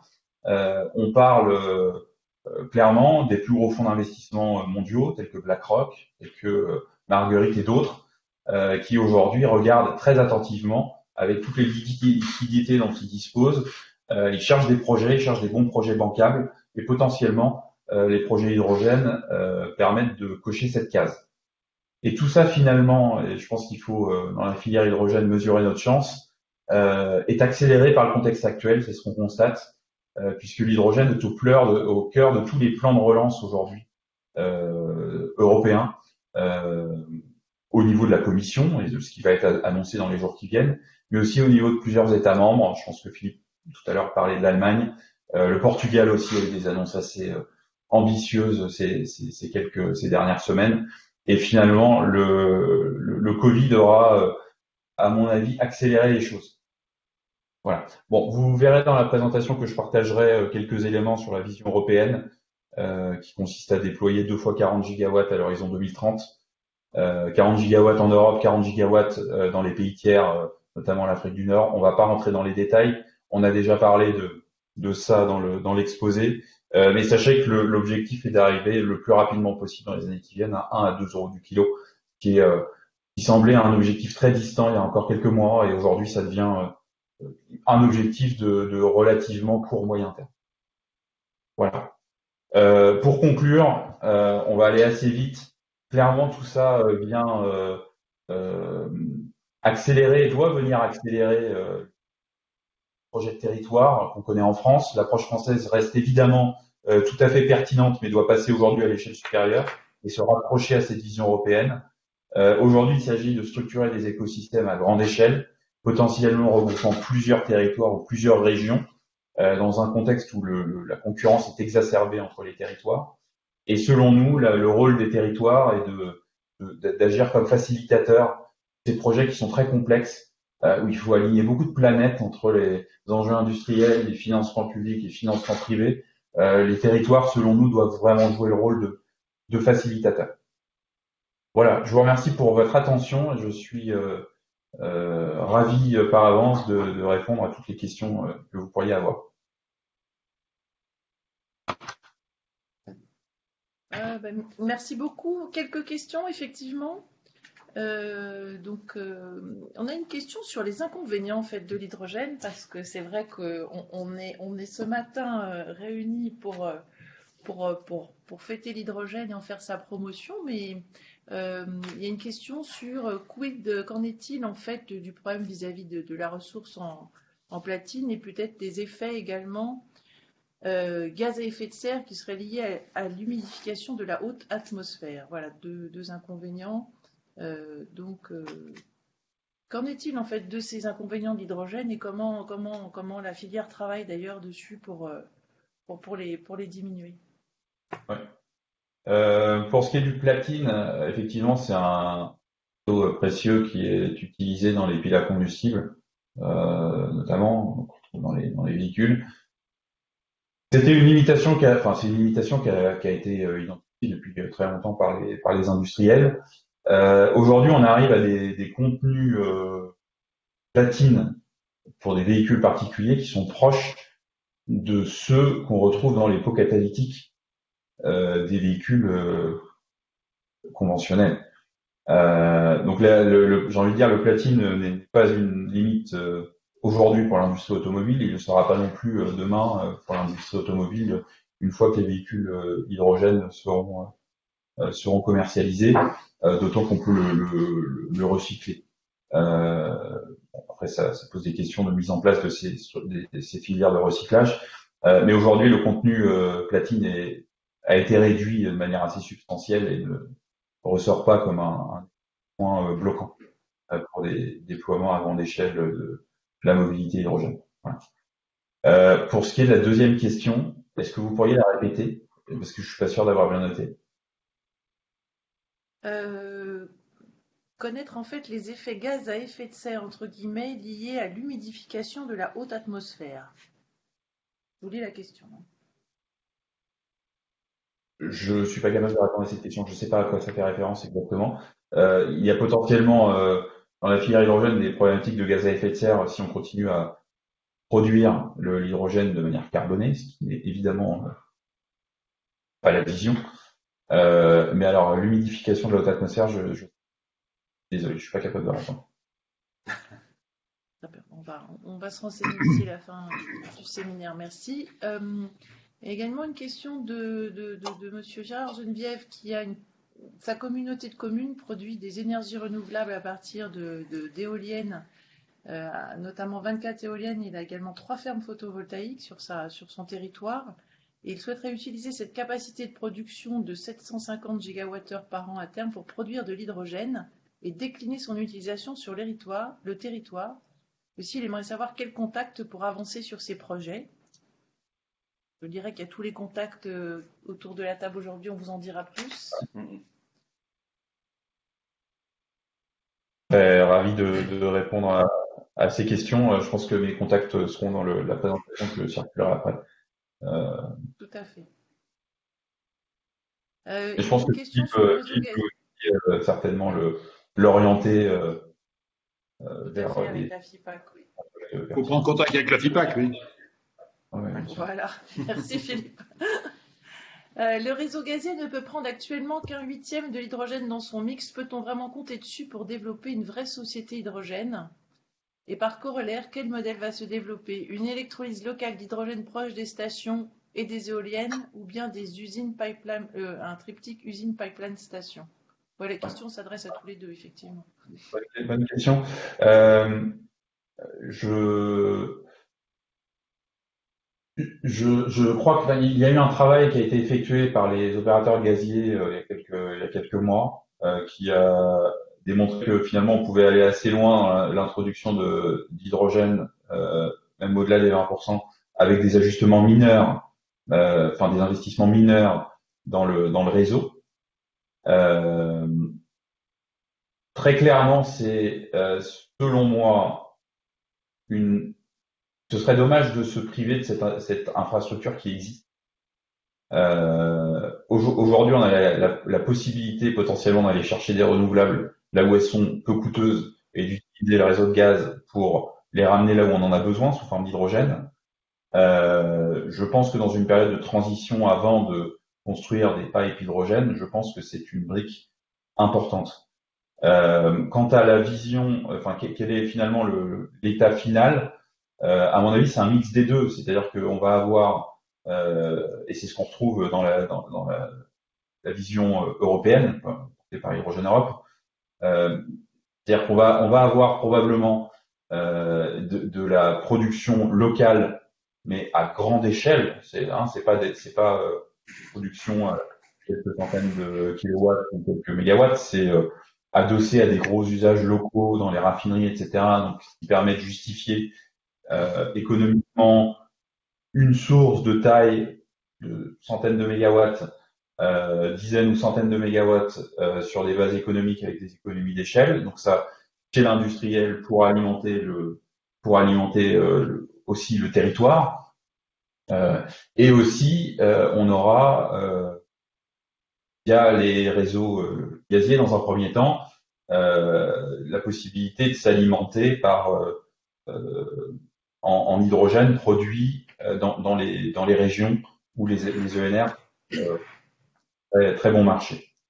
Euh, donc un mélange des deux. Philippe, je ne sais pas si tu souhaites compléter. Bah, je voudrais dire que actuellement on peut mettre 6% de d'hydrogène dans les réseaux de gaz, pour autant que ça ne met pas en danger la sécurité du réseau. Euh, euh, volume, ce, ce pourcentage n'est pas le même dans tous les pays d'Europe, donc il y a un fort euh, travail d'harmonisation à réaliser.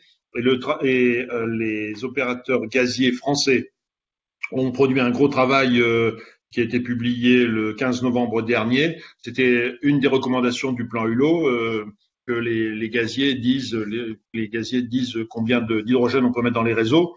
La conclusion, c'est que pour certains, il faut faire l'analyse du, du, réseau, je dirais, tronçon par tronçon, et voir ce qui peut, quelle nature d'acier. La question de fond, c'est la question de la sécurité, et c'est au cœur de, des préoccupations de tous ceux qui s'intéressent à l'hydrogène.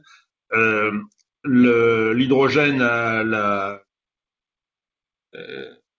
a la fragilise, risque de fragiliser les, aciers. Et donc, il faut, euh, mais c'est pas vrai de tous les nuances d'acier. Donc, il euh, faut distinguer parmi les réseaux qui existent ceux qui permettront d'accepter euh, cet hydrogène et ceux qui, pour lesquels il faudra passer à une autre étape qui est ce qu'on appelle la méthanation, c'est-à-dire la recombinaison d'hydrogène avec du gaz carbonique, gaz carbonique qui pourra être issu, par exemple, d'une installation de méthanisation ou euh, d'une installation de, industrielle.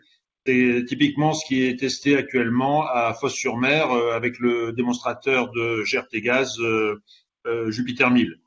Les gaziers, notamment GRT Gaz, travaillent également sur la séparation.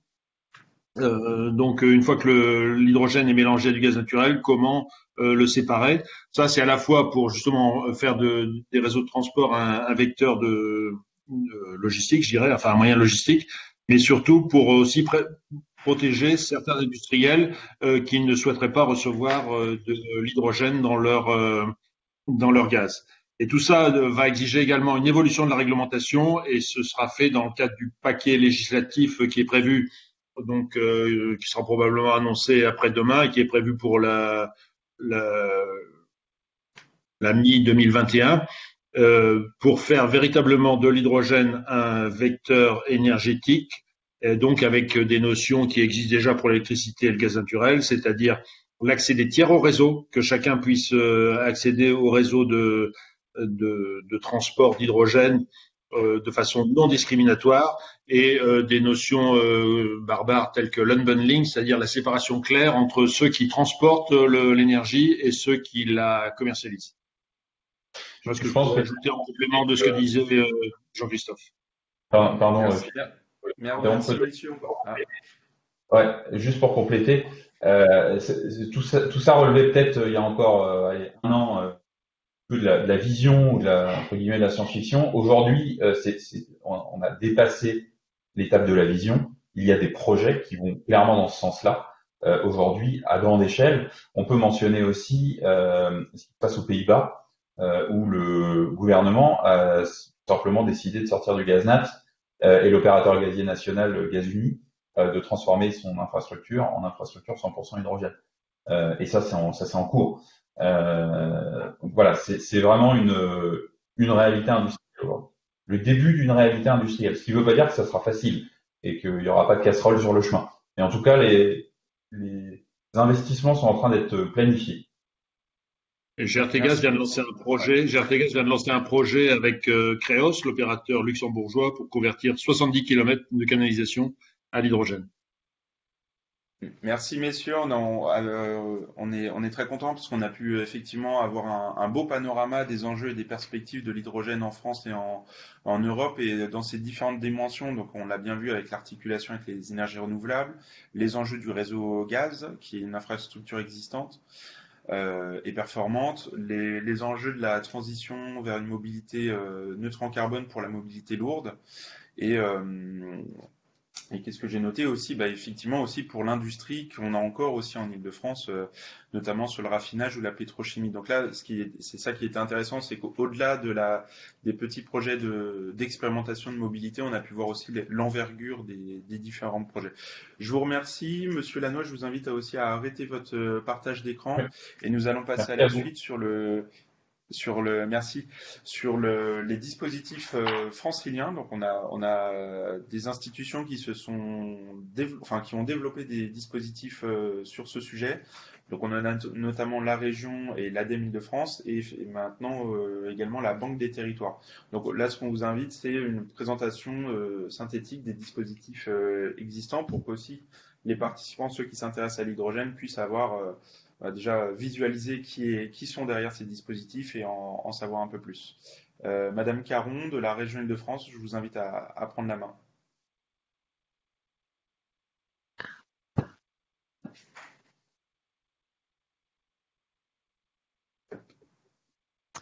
Bonjour à toutes et tous. Est-ce que le partage d'écran fonctionne? Oui, ça fonctionne. Donc Clotilde Caron, chef du service euh, transition énergétique euh, qualité de l'air euh, bruit climat à la région Île-de-France. du coup, ma présentation va s'inscrire dans le prolongement de, de l'introduction de notre de notre vice-président. Euh, je vais vous détailler euh, les lignes directrices qui ont été votées euh, et qui cadrent du coup notre intervention et les dispositifs opérationnels qui qui en découlent. Donc tout d'abord, Jean-Philippe Dugouin-Clément en a parlé, la stratégie énergie-climat et le plan territoire hydrogène euh, donc ça a été voté en, en, 2018.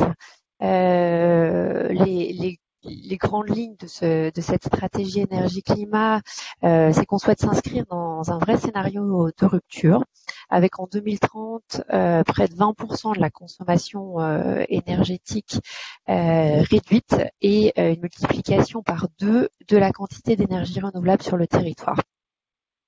Et en 2050, la volonté de tendre vers une région 100% ENR et zéro carbone.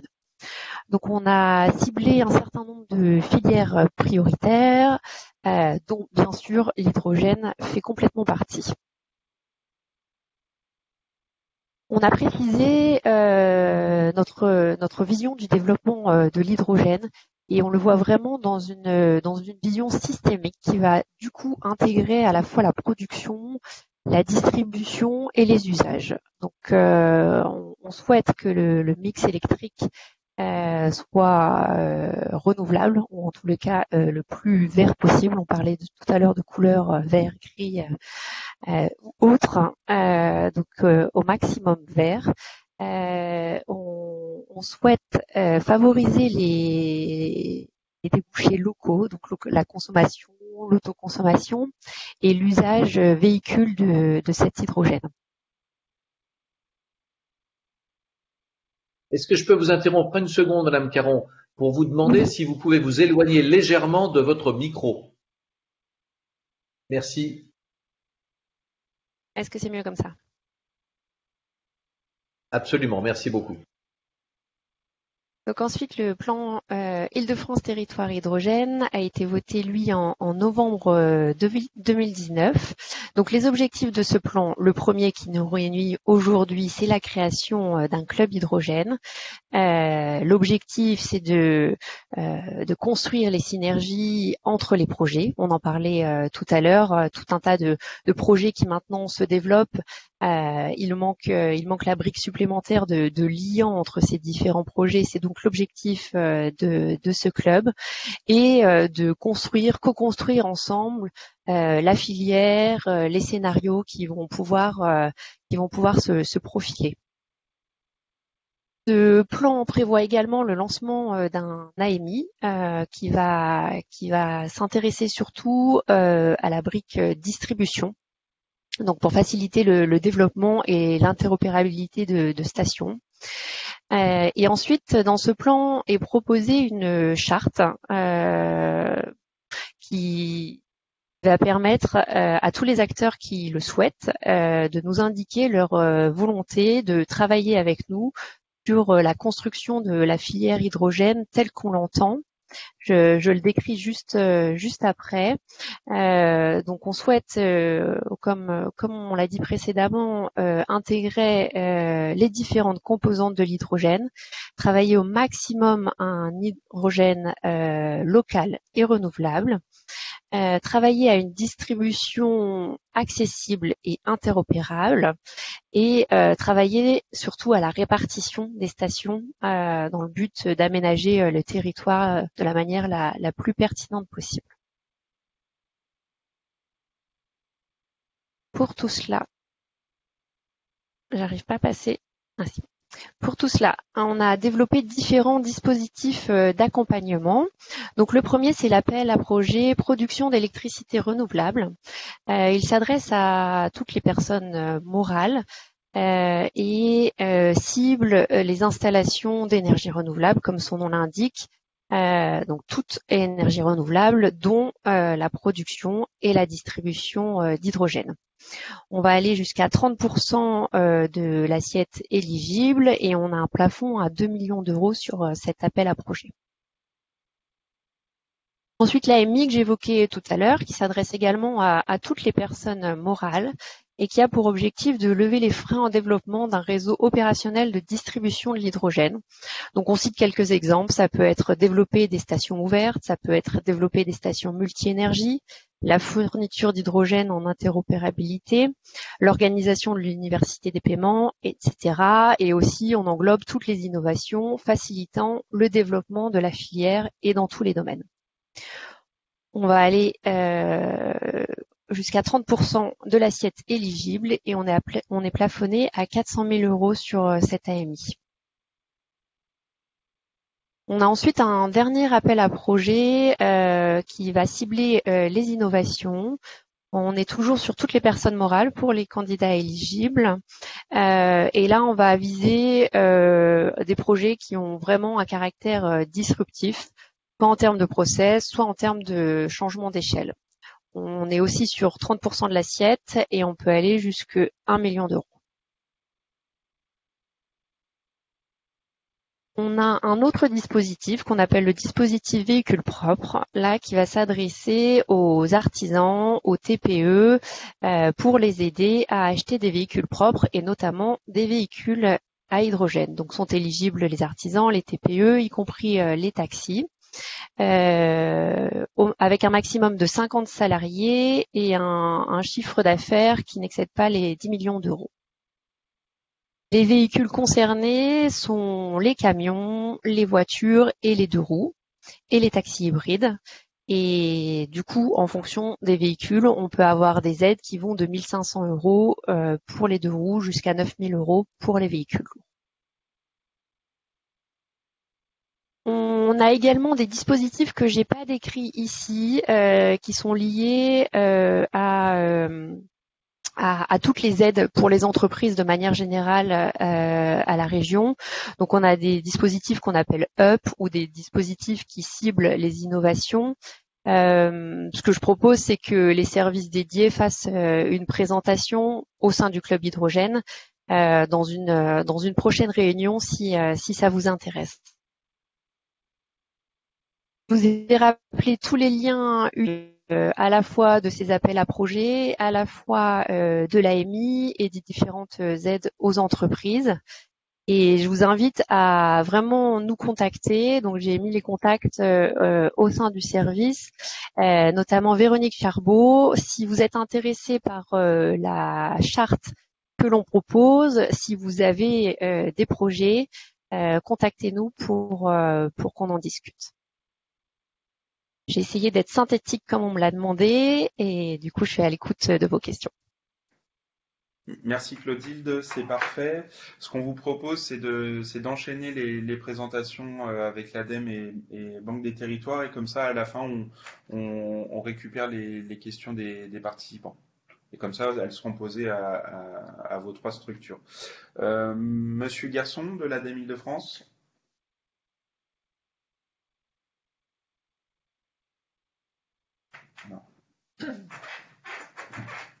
Alors. Et ça marche. On vous voit. On vous voit.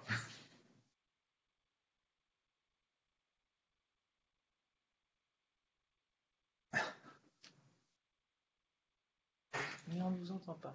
Mais on ne, on ne vous entend pas. Monsieur Garçon ne vous entend pas.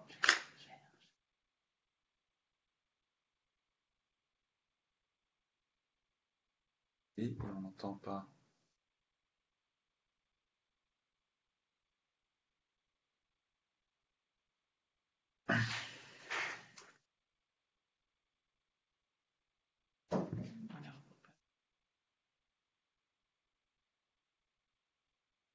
Alors.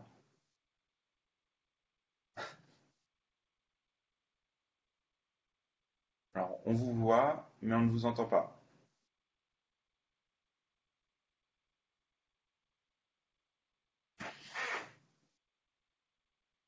Vous passez sur le téléphone, oui, ok. on passera les slides. Ouais. On passera les slides. Ok. En attendant, on passe sur. Euh, pas les slides. Ah. Bah, à ce moment-là, on va, on va passer par, euh, on, va, on va directement passer à la Banque des Territoires le temps qu'on vérifie euh, la connexion avec Monsieur Gerson. Monsieur Schottheim, si, ça, si vous êtes dispo. Oui, bonjour. Donc, euh, vous avez les slides. Je, vous m'entendez, c'est bon? Je vous les mets. Parfait. Merci. Donc, je suis Yvan Chetaille, je suis responsable d'investissement à la transition euh, à la Caisse des dépôts en direction régionale Île-de-France euh, sur la thématique de la transition énergétique et écologique. Donc, ce que je vous propose, donc c'est avant tout de faire un, petit détour rapide euh, sur la Banque des territoires avant d'entrer euh, plus spécifiquement dans la présentation de l'accompagnement de la transition énergétique et écologique et de la filière hydrogène en particulier. Donc, la Banque des territoires, c'est un des cinq métiers de la Caisse des dépôts, du groupe Caisse des dépôts, aux côtés de la Banque publique d'investissement, dont la mission est principalement, de financer euh, les entreprises également aux côtés des filiales stratégiques comme Transdev, hein, liées à la mobilité, ou euh, depuis peu La Poste, qui est également euh, fortement impliquée sur les sujets de mobilité et indirectement d'hydrogène. Donc, la Banque des territoires. Donc, slide suivante, s'il vous plaît. Donc, la Banque Territoire, c'est une direction de la Caisse des dépôts dont la mission essentielle est de répondre aux enjeux des territoires. Cette marque euh, a été lancée en 2018 et elle regroupe l'essentiel de l'offre de la Caisse des dépôts au service des territoires et des projets d'intérêt général. On peut euh, décomposer cette offre en trois axes, euh, le conseil, le financement et la gestion.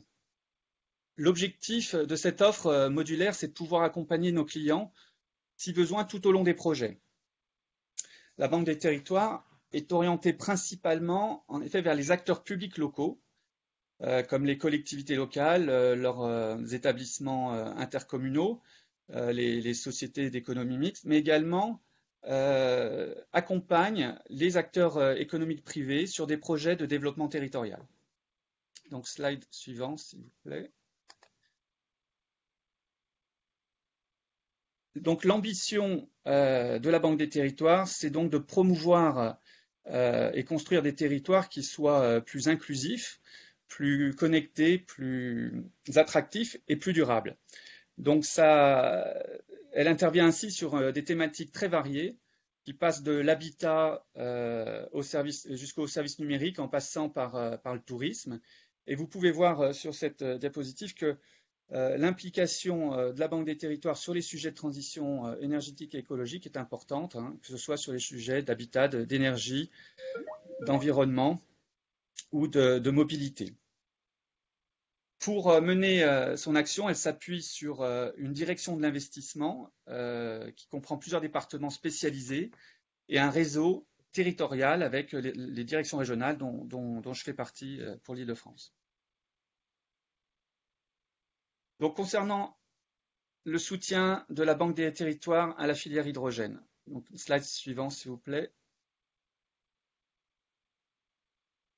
Donc, on a vu que l'accompagnement de la transition énergétique écologique est une des priorités affichées de la Banque des territoires. Euh, et celle-ci inclut, euh, bien entendu, aujourd'hui euh, l'hydrogène. la Caisse des dépôts s'est engagée depuis déjà de nombreuses années sur la production des énergies renouvelables, sur leur financement et sur le développement de la mobilité propre, durable, en, en investissant donc sur des, que ce soit sur des unités de production euh, éoliennes, photovoltaïques, ou des infrastructures euh, liées au, déploiement de transport euh, et stations d'avitaillement notamment, mais également en s'intéressant sur le portage de flottes de véhicules décarbonés.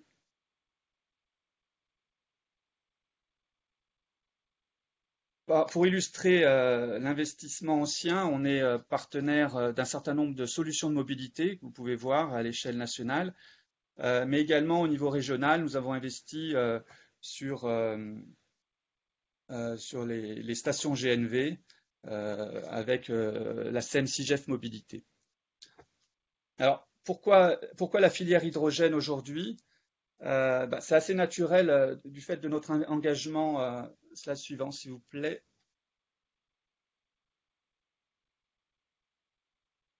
Voilà, donc euh, du fait de notre implication euh, dans la transition énergétique et écologique, sur les énergies renouvelables, sur les mobilités décarbonées, c'est naturellement qu'on s'est dirigé depuis quelques années vers la filière hydrogène, puisqu'elle est à la croisée des chemins euh, de toutes nos interventions.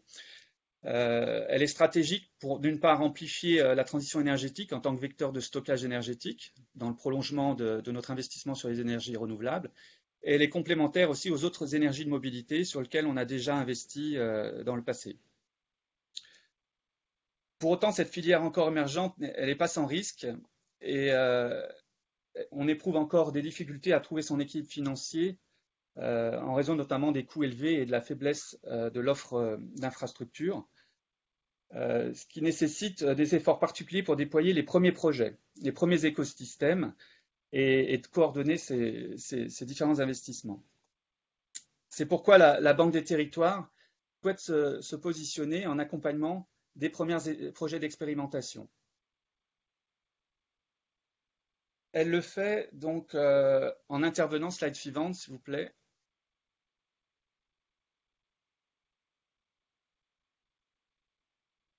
Voilà, donc euh, elle se positionne donc sur l'hydrogène euh, pour soutenir le démarrage de la filière, sur la production d'hydrogène vert, que ce soit l'accompagnement des premiers démonstrateurs de production hydrogène ou euh, l'accompagnement des industriels qui souhaiteraient euh, euh, apporter de l'hydrogène vert dans leur process industriel, ou récupérer l'hydrogène fatal.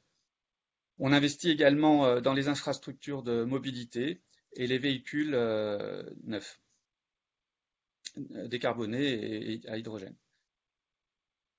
Notre intervention vise en particulier les acteurs publics, avec qui on peut monter des partenariats, accompagner leurs projets de développement, mais également les acteurs privés, les développeurs et, énergéticiens.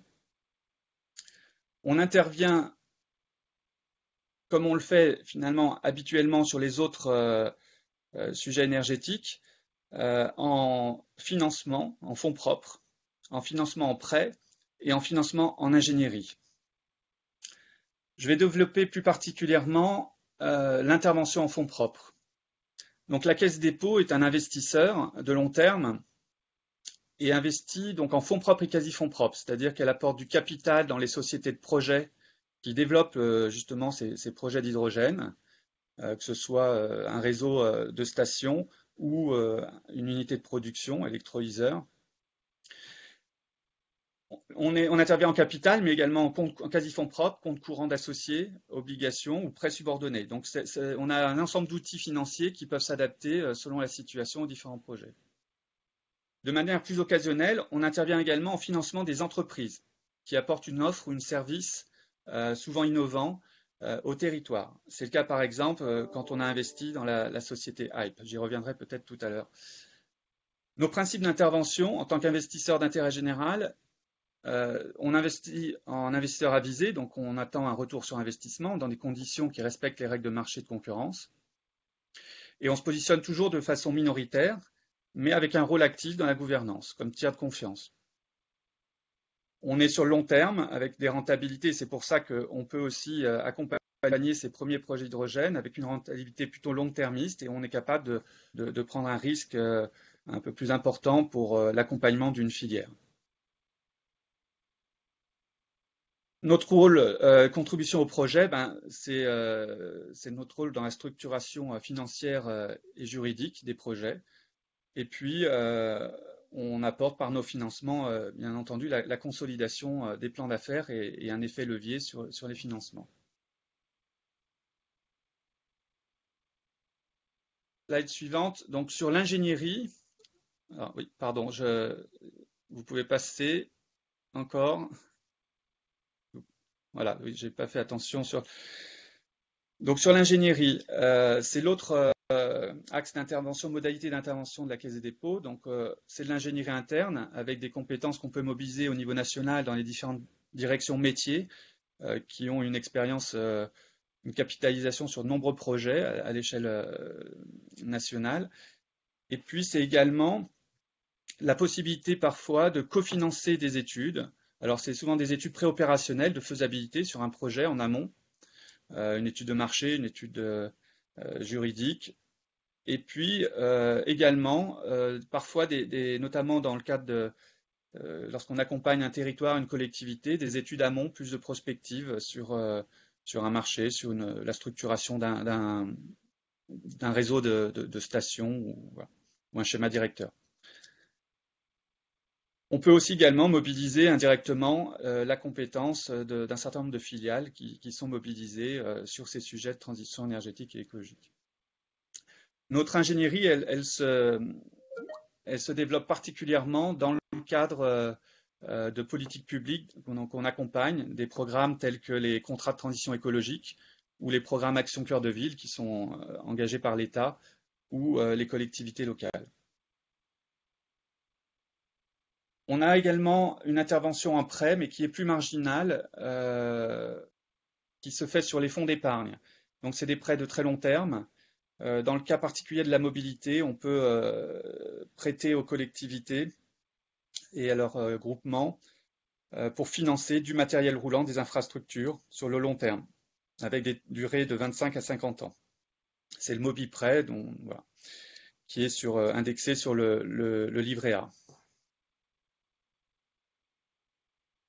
Donc pour illustrer, euh, aujourd'hui, on, a accompagné déjà de, deux projets majeurs euh, en hydrogène, euh, relatifs à l'hydrogène en France. C'est comme on l'a évoqué, et ça a été évoqué ce matin, le projet des, taxis parisiens Hype à hydrogène, ou le projet porté par la société Impulsion Zéro Emission Valley en Rhône-Alpes. Mais euh, c'est au niveau national plus d'une vingtaine de projets que l'on suit, dont euh, au moins quatre en Ile-de-France, euh, chaque fois avec des, partenaires différents, industriels, que ce soit Engie pour Zero Emission Valley ou Air Liquide sur Hype, mais il y a également des projets en lien avec Dynamics. On a également soutenu des, études un peu de faisabilité, par exemple, pour illustrer un peu la manière dont on peut intervenir en, ingénierie, en, finançant avec l'entreprise Cemex une étude de faisabilité sur euh, un pousseur à hydrogène. Pour conclure, euh, je parlerai simplement du, rôle euh, récent d'implementing partner de la Banque des territoires, c'est-à-dire partenaire de mise en œuvre qui, dans le cadre d'une convention avec la Commission européenne, nous permet de faire bénéficier à certains projets de subventions européennes dans le cadre d'un appel à projet qui est le, CEF, le Connecting euh, European Facility. Euh, dans le cadre de cet appel à projet, qui, est divisé en plusieurs calls, la Caisse des dépôts et la Banque des territoires peut, par son intervention en, financement, provoquer un effet levier de subvention. Elle crédibilise quelque part l'instruction, la, faisabilité du projet et permet d'être éligible à des subventions européennes. Donc on a aujourd'hui, euh, euh, dans le cadre de cet appel à projet, plusieurs euh, projets d'hydrogène qui sont déposés ou en cours d'être déposés pour obtenir cette subvention.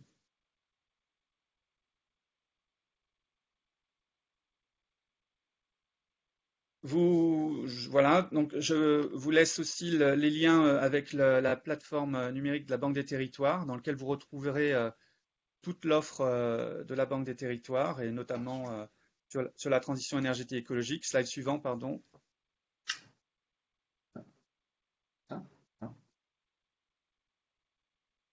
Et donc mes, coordonnées. Pardon? Non, non, je demandais si c'était bien cette, enfin, oui, oui, tout à fait, oui. Voilà, euh, donc, euh, dans lequel vous retrouvez l'offre de la Banque des territoires et notamment toute l'offre financière euh, sur la transition énergétique et écologique. Et puis mes coordonnées si vous souhaitez effectivement avoir un, un contact au niveau de la direction régionale Île-de-France. on est organisé au niveau de la direction régionale avec des équipes territoriales qui sont en contact direct avec les acteurs locaux, les collectivités. Et pour ma part, au sein de la direction de l'investissement et la direction régionale, j'appuie sur la thématique euh, transition énergétique et écologique et les, sujets d'hydrogène en particulier. Donc, n'hésitez pas à me contacter, je vous réorienterai, euh, le cas échéant, sur les, bons interlocuteurs. Je vous remercie de votre attention. Merci beaucoup. Merci beaucoup. Alors pour les participants, les, présentations seront diffusées hein, par la suite. Hein. donc euh, si vous avez des, enfin si vous voulez plus d'informations sur les présentations, elles seront diffusées. Euh, Monsieur Gerson. Alors.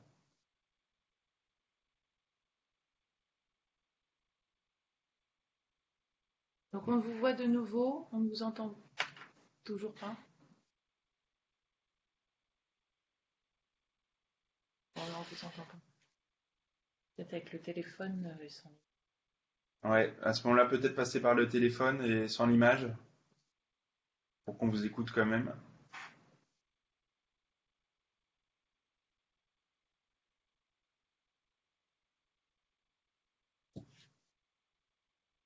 Votre micro est fermé sur le téléphone en fait.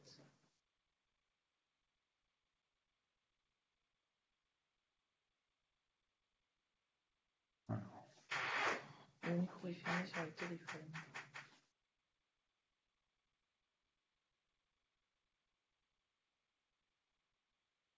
Bon, à, ce moment-là, on vous propose de, de, passer à la, à la présentation du club et euh, en, espérant que, que, ça, que votre connexion marche juste après. Alors, donc maintenant, on reprend la main.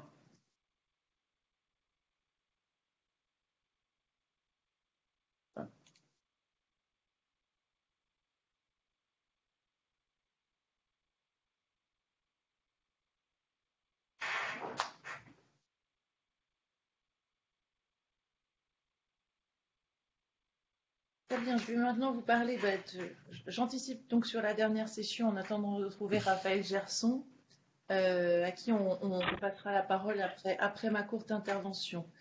Euh, donc, l'un des objectifs de ce matin, c'était bien de vous présenter ce club hydrogène Île-de-France, qui a été créé à l'initiative de, la région Île-de-France, euh, notamment par sa délibération Île-de-France Territoire Hydrogène euh, qui date de novembre 2019, euh, délibération qui, euh, qui, a pour cadre le plan changeant d'air, mais également la stratégie régionale énergie-climat de, 2018. Donc ce club va être copiloté par donc à la fois la région Île-de-France, mais également l'État par l'intermédiaire de la DRIE, l'ADEME Île-de-France et la FIPAC euh, avec euh, M. Boucli notamment, qui s'est exprimé ce matin. Euh, le club sera animé et coordonné par la REC. Alors pourquoi quels sont les objectifs en fait de ce club? Trois objectifs et puis de toute façon, on en a déjà bien parlé ce matin. Il y a un intérêt en fait à fédérer, c'est-à-dire à mettre ensemble tous les acteurs autour de la table, que ce soit les acteurs économiques, les institutionnels, les collectivités, donc tout professionnel, associations, etc. Mettre, en lien ensemble tous ces acteurs afin de pouvoir faciliter l'émergence d'une filière régionale. Deuxième axe, accélérer, puisque on sait bien qu'il y a quelques projets qui ont, déjà vu le jour ou qui commencent à pointer leur, nez euh, sur notre territoire. L'idée, c'est vraiment d'accélérer le, développement des projets hydrogènes sur l'île de France euh, en profitant eh ben, de toute cette dynamique à la fois nationale et européenne et, de, l'implication euh, de plus en plus forte des, acteurs et aussi l'entrée sur le marché de, nouveaux acteurs, euh, start-up, etc. Dans, le, dans le domaine. Et troisième axe, la, sensibilisation, euh, la sensibilisation des acteurs. L'idée, c'est de pouvoir acculturer à la fois les collectivités territoriales, mais aussi tous les autres acteurs franciliens en, partageant sur les enjeux, sur les solutions, afin bon, d'avoir un porté à connaissance qui crée une culture commune pour tout, pour tout le monde. Je vais changer ma slide d'un côté. Euh, donc ce club, en fait, on, a imaginé pour le moment plusieurs euh, thématiques potentielles de, de, travail. Bien sûr, travailler, euh, pouvoir aborder plusieurs sujets comme les mobilités, que ce soit les mobilités terrestres ou les, ou les mobilités fluviales, qui, qui, sont, qui sont des sujets dans, dans, le domaine de la, pas que dans le domaine de l'hydrogène, mais on le sait bien, ce sont des sujets d'une grande importance sur notre, sur notre territoire. Donc mobilité terrestre, que ce soit les taxis, euh, les bonnes ordures, les bus, euh, véhicules utilitaires légers ou les poids lourds. La mobilité fluviale, bien sûr, euh, en, s'attachant au problème de logistique et, aussi voir logistique de, notamment de marchandises, mais voir ce que ça pourrait donner aussi dans le secteur du tourisme. Euh, développer aussi le maillage des stations et donc la distribution de, l'hydrogène sur le territoire, travailler sur la production d'un hydrogène euh, renouvelable euh, en, essayant de, développer plusieurs technologies sur, sur notre territoire. Et puis également ce qu'on appelle l'écosystème territorial, hein, dont on a également parlé ce matin, de, pouvoir qui permet de, de lancer en fait des, projets, des opérations euh, sur un, sur un, qui soit complète avec toute la, filière de, de, l'amont à l'aval. Euh, voilà, ça c'est un objectif. Euh, un autre, une autre thématique, c'est bien sûr l'hydrogène stationnaire avec, avec les, bâtiments, l'hydrogène pour le chauffage, l'eau chaude ou, ou, la production d'électricité pouvoir aussi euh, regarder ce qui se passe au niveau des réseaux et de l'injection dans le réseau gaz, par exemple.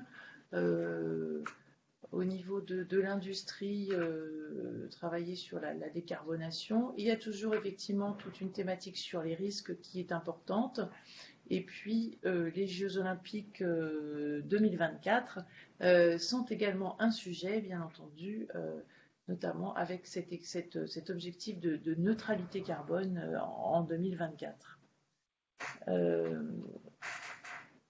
Donc, quelles activités pour ce club? Eh ben, Ce club, en fait, euh, proposerait des groupes, euh, à la fois des groupes de travail, euh, pour des, porteurs de projets, bah, des rencontres avec des structures d'appui et de financement, pour d'autres acteurs, justement, qui seraient dans l'appui, l'accompagnement, le financement, la possibilité de pouvoir rencontrer des porteurs de projets, offrir à tous, en tout cas, une veille et une acculturation et de l'information sur des retours d'expérience, et qui seront euh, complétés, euh, tout ça complété utilement en fait avec des visites de site parce qu'il est vrai que c'est quand on voit, on se, rend, on se rend mieux compte. Alors visite de site, on a déjà, euh, on a vu une carte ce matin, on a déjà quelques, quelques installations à voir, mais il peut y avoir l'idée aussi d'aller voir d'autres installations un petit peu plus loin. poursuivre notre, notre travail de porter à connaissance des projets et des acteurs. Euh, notamment par l'intermédiaire évidemment du site de, l'AREC, mais également de, euh, de, l'interface de l'Institut Paris Région euh, en, général, avec tous ces, travaux de, de base de données, de cartographie qu'on peut mettre à disposition et qu'on voudrait aussi rendre interactive. Et enfin, ça peut être aussi proposer un accompagnement technique et financier de projets euh, pour des porteurs de, projets qui le, souhaiteraient. Et voilà. je ne m'attendais pas à nous voir euh, comme ça. Donc, euh, ben, si vous voulez nous, contacter pour les suites, eh ben, vous pourrez toujours vous adresser à Thomas et, à moi également. Comme on vous l'a annoncé au départ, il va y avoir aussi un, questionnaire qui vous sera adressé à la suite de cette de cette euh, journée, de cette matinée, pardon, euh, pour pouvoir euh, vous interroger, avoir un petit peu vos avis sur les thématiques de travail et activités du club. Donc vous pouvez l'avoir avec ce QR code en captant, en capturant ce, QR code. mais ce sera également disponible, disponible par la suite sur, notre site. bon, l'idée en fait, c'est vraiment de pouvoir travailler avec vous sur la construction du club. Il faut que ce soit assez participatif. Il faut vraiment que ce club se soit utile. C'est pas, n'est pas juste un club de, c'est pas qu'un club de, de rencontres où euh, voilà, ça va beaucoup plus loin que, que des, que, des conférences, etc. C'est vraiment travailler tous ensemble et vraiment pousser l'émergence de, de, projets euh, euh, hydrogène là où, où, où, il y en a besoin, là où ça aura du sens, etc. Il y a beaucoup d'acteurs qui sont déjà là, en fait, euh, autour de la table pour, euh, pour, pour aider à, pousser ces projets. Euh, donc, L'idée du club, bah, c'est qu'il y a un liant, un liant qui sera fait donc par la REC afin de pouvoir qu'on puisse qu'on puisse vraiment aider à pousser tout ça. Et on vous annonce d'ores et déjà, on, en reparlera une conférence au, mois de septembre, le, 29 septembre, mais on en reparlera plus tard. Et puis vous, pouvez toujours nous suivre sur les réseaux sociaux. Hein. Twitter, euh, LinkedIn, YouTube, etc. euh, pour avoir plus d'informations. Euh, voilà Thomas, j'en ai fini avec le club. C'est que le début. C'est que le début du club. avant de, passer à la conclusion par Monsieur Doucet, nous allons réessayer avec, avec l'ADEME. Alors.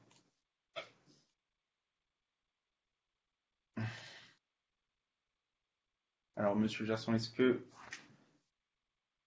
est-ce que vous êtes connecté? Je vois que oui. Enfin, désactiver. Alors. Parce qu'on est, on est dans l'actualité de l'ADEME en ce moment avec des petites difficultés de connexion. Alors, voilà. Alors, on va passer par le haut-parleur de mon téléphone en espérant que ça marche oui. Bonjour à tous, est-ce que vous m'entendez? Alors,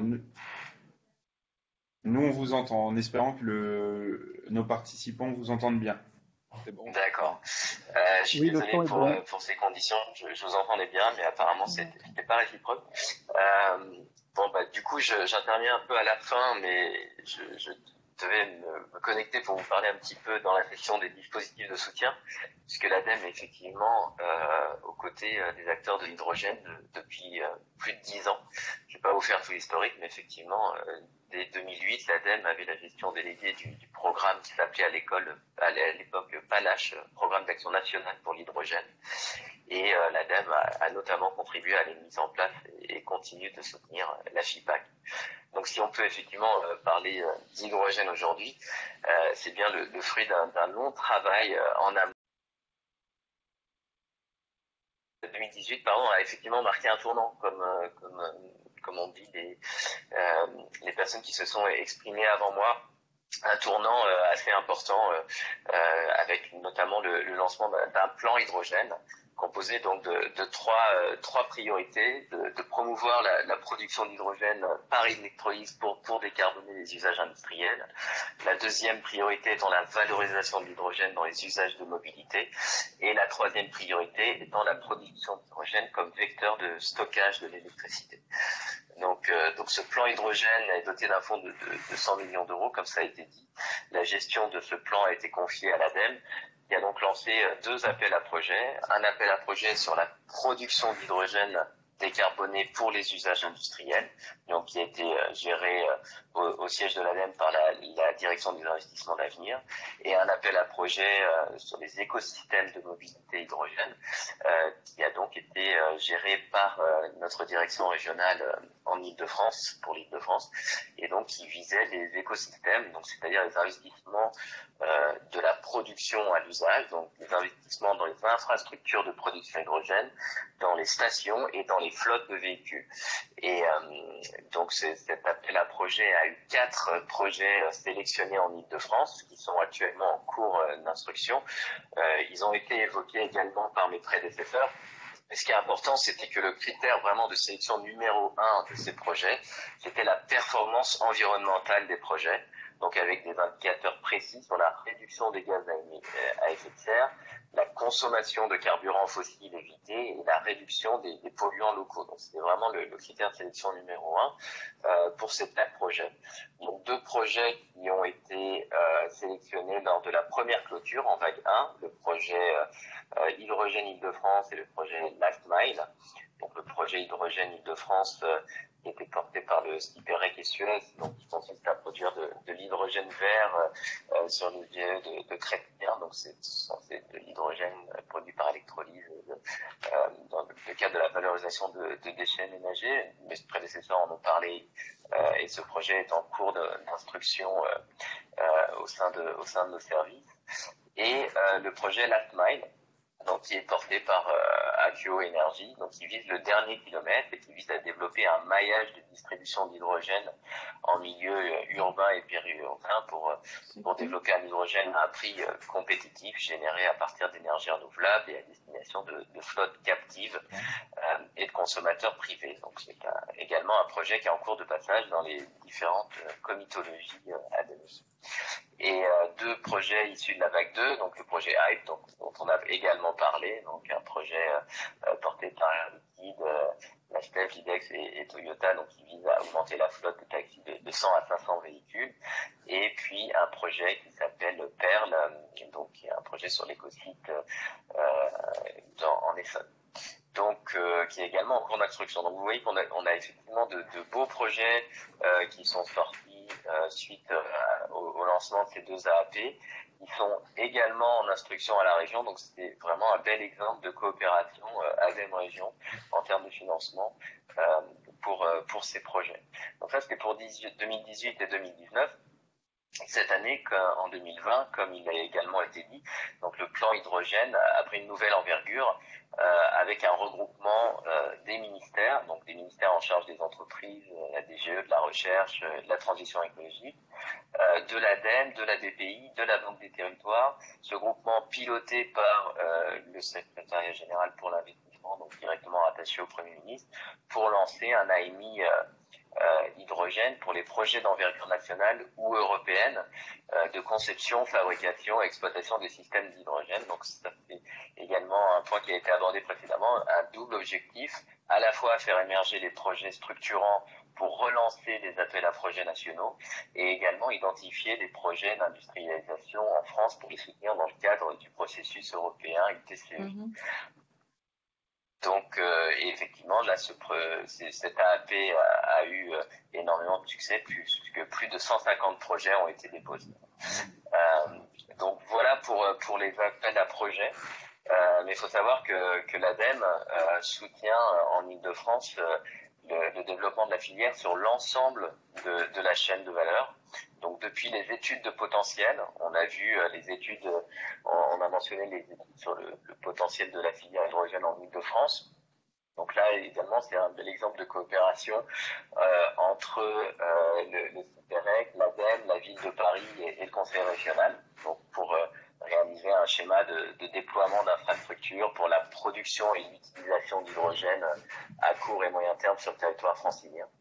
Euh, L'ADEME apporte également son soutien aux études de faisabilité. Donc là, on encourage vraiment les, euh, les porteurs, quelle que soit leur taille, à, venir nous voir euh, pour faire des, des, études de faisabilité dans le but ensuite de déposer un projet aux appels à projets régionaux ou nationaux. et également, l'ADEME apporte son soutien à des projets franciliens de, de, de R&D. donc, des projets plus amont. je pense notamment au projet 5 ou Hermès qui sont, en cours. Et enfin, l'ADEME participe bien évidemment à la structuration de la filière. donc, de la, de la Banque des territoires a parlé précédemment. Et effectivement, on a une convention avec la Banque des territoires où l'hydrogène est, clairement présent. Et puis, bien sûr, dans notre participation à ce club hydrogène, on, salue l'action du Conseil régional euh, et de la REC et, euh, en, en, partenariat avec les acteurs euh, et notamment la FITAC pourra contribuer à la structuration et, et, au développement de la filière en Ile-de-France. Voilà, donc en conclusion, beaucoup de travail a été fait sur l'hydrogène ces, dix dernières années et on est à un tournant aujourd'hui, comme, comme l'ont dit mes prédécesseurs.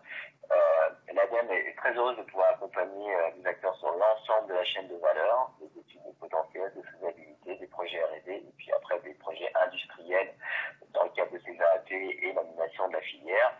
Et il euh, faut savoir que bien évidemment, une filière ne peut se structurer que par la coopération de tous les acteurs. Donc on remercie les collectivités, euh, la région avec qui on est très heureux de coopérer dans le cadre du club hydrogène et dans le cofinancement des projets, la ville de Paris notamment pour, pour l'étude qu'on est en train de faire avec eux. Et on remercie la FIPAC et, tous les acteurs qui développent des projets euh, sur le terrain et que est très heureux à la même de pouvoir se voilà, je vous remercie et j'espère que c'était audible. Merci beaucoup. On a eu des bons retours sur, sur l'audio, donc c'est, on s'adapte et on, improvise et, on y arrive. Euh, avant de, conclure, on a Monsieur Boucli de la FIPA qui veut dire un, dernier mot. Monsieur Boucli. Oui, oui, je, serai très. Merci beaucoup. Je serai très très bref puisque je crois qu'on n'est pas en avance. Euh, moi, je me félicite au nom de, la FIPAC de la création de ce club euh, hydrogène euh, Île-de-France. Ça illustre bien le, dynamisme et le volontarisme de la région pour développer euh, dans tous ses composants. Euh, tout à l'heure, euh, Marie-Laure donnait l'ensemble de, de, ce que peut et va faire ce club. Je crois notamment, et la crise du Covid l'a montré, tout ce qui a trait à la logistique les centres logistiques, et ils sont nombreux en région Île-de-France, c'est un élément très porteur. Euh, le fluvial, l'axe Seine, euh, donc à Repas, Havre, Le Havre, Rouen, Paris, c'est également un axe très structurant. Je crois que le, le rôle du, club va également être d'organiser tout ce qui est achat groupé. Et on a, besoin pour massifier, c'est vraiment le maître mot, massifier, et euh, également euh, se rapprocher pour euh, structurer le, les projets et trouver la répartition optimale des stations de recharge. Il y a un problème sérieux également de foncier en Ile-de-France et je crois que le club peut également y contribuer. En tout cas, au niveau de, de la FIPAC, et puis il y a un dernier point aussi que je voudrais souligner, qui a trait à la formation, au développement des compétences et partant donc les questions d'emploi. Tout ça va être, crois que le club va être vraiment un bel endroit pour discuter de tous ces sujets. Pour notre part, à la FIPAC, nous nous avons lancé un, et ça a été admis par la, c'était décidé par l'Assemblée générale qui s'est réunie euh, récemment. Euh, nous avons décidé de créer des délégations régionales pour être au plus près des régions, pour vraiment accompagner euh, les territoires. Et, euh, et donc cette euh, coordination va être vraiment tout à fait fondamentale pour structurer les projets. Ça a été évoqué de plusieurs fois ce matin. Structurer les projets et avoir une utilisation optimale de l'argent public et euh, des, des, projets dans les territoires. Je vous remercie, je ne serai pas plus long. Merci beaucoup. Merci beaucoup Philippe. Merci Philippe. Et euh, pour conclure, euh, parce qu'on s'était donné jusqu'à 11h30, donc on a dépassé un, un, tout petit peu, nous allons passer la parole à Monsieur Didier Doucet, qui est président de, du directoire de l'AREC de France. Monsieur Doucet. Oui, merci Thomas, merci beaucoup, chers participants et partenaires c'est un, grand plaisir pour moi de, conclure ce webinaire et, et d'accompagner le, le, lancement du club Hydrogène Île-de-France. Je remercie également Jean-Philippe Dubois-Clément, notre vice-président en charge de, l'environnement et de la transition écologique, qui a lancé un peu le, débat et qui a fort bien résumé les choses sur la, volonté et la politique régionale d'aujourd'hui. Donc effectivement, l'hydrogène constitue actuellement euh, un sujet d'innovation pour euh, sa production, sa distribution et euh, ses usages. En effet une solution d'avenir, je crois, pour la transition énergétique et la lutte contre le changement climatique, que ce soit pour la pardon, je vais y arriver, décarbonatation de l'industrie, le stockage à grande échelle des énergies euh, renouvelables intermittentes ou encore pour la réduction des énergies fossiles dans les transports. L'hydrogène fait en effet l'actualité euh, avec des annonces récentes sur le développement et la commercialisation de poids lourds, on en parlait, de trains, de bus ou encore d'avions aussi hydrogène, ainsi que sur la production massive d'hydrogène renouvelable.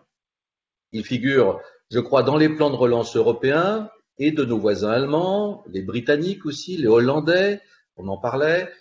En France, les acteurs de l'hydrogène attendent un plan à la hauteur des ambitions pour déployer pleinement l'hydrogène sur les territoires. Je crois que c'est vraiment l'objectif numéro un. L'île de France dispose de, sérieux atouts, je crois, pour aider à structurer la filière avec la présence de filières industrielles, aéronautiques, automobiles et pétrochimie, qui cherchent à décarboner leur fonctionnement. De nombreux acteurs de l'hydrogène sont présents, positionnés sur des maillons clés de la chaîne de valeur, vous en étiez, avec des industriels aussi de dimension internationale, des start-up ou des acteurs de la recherche.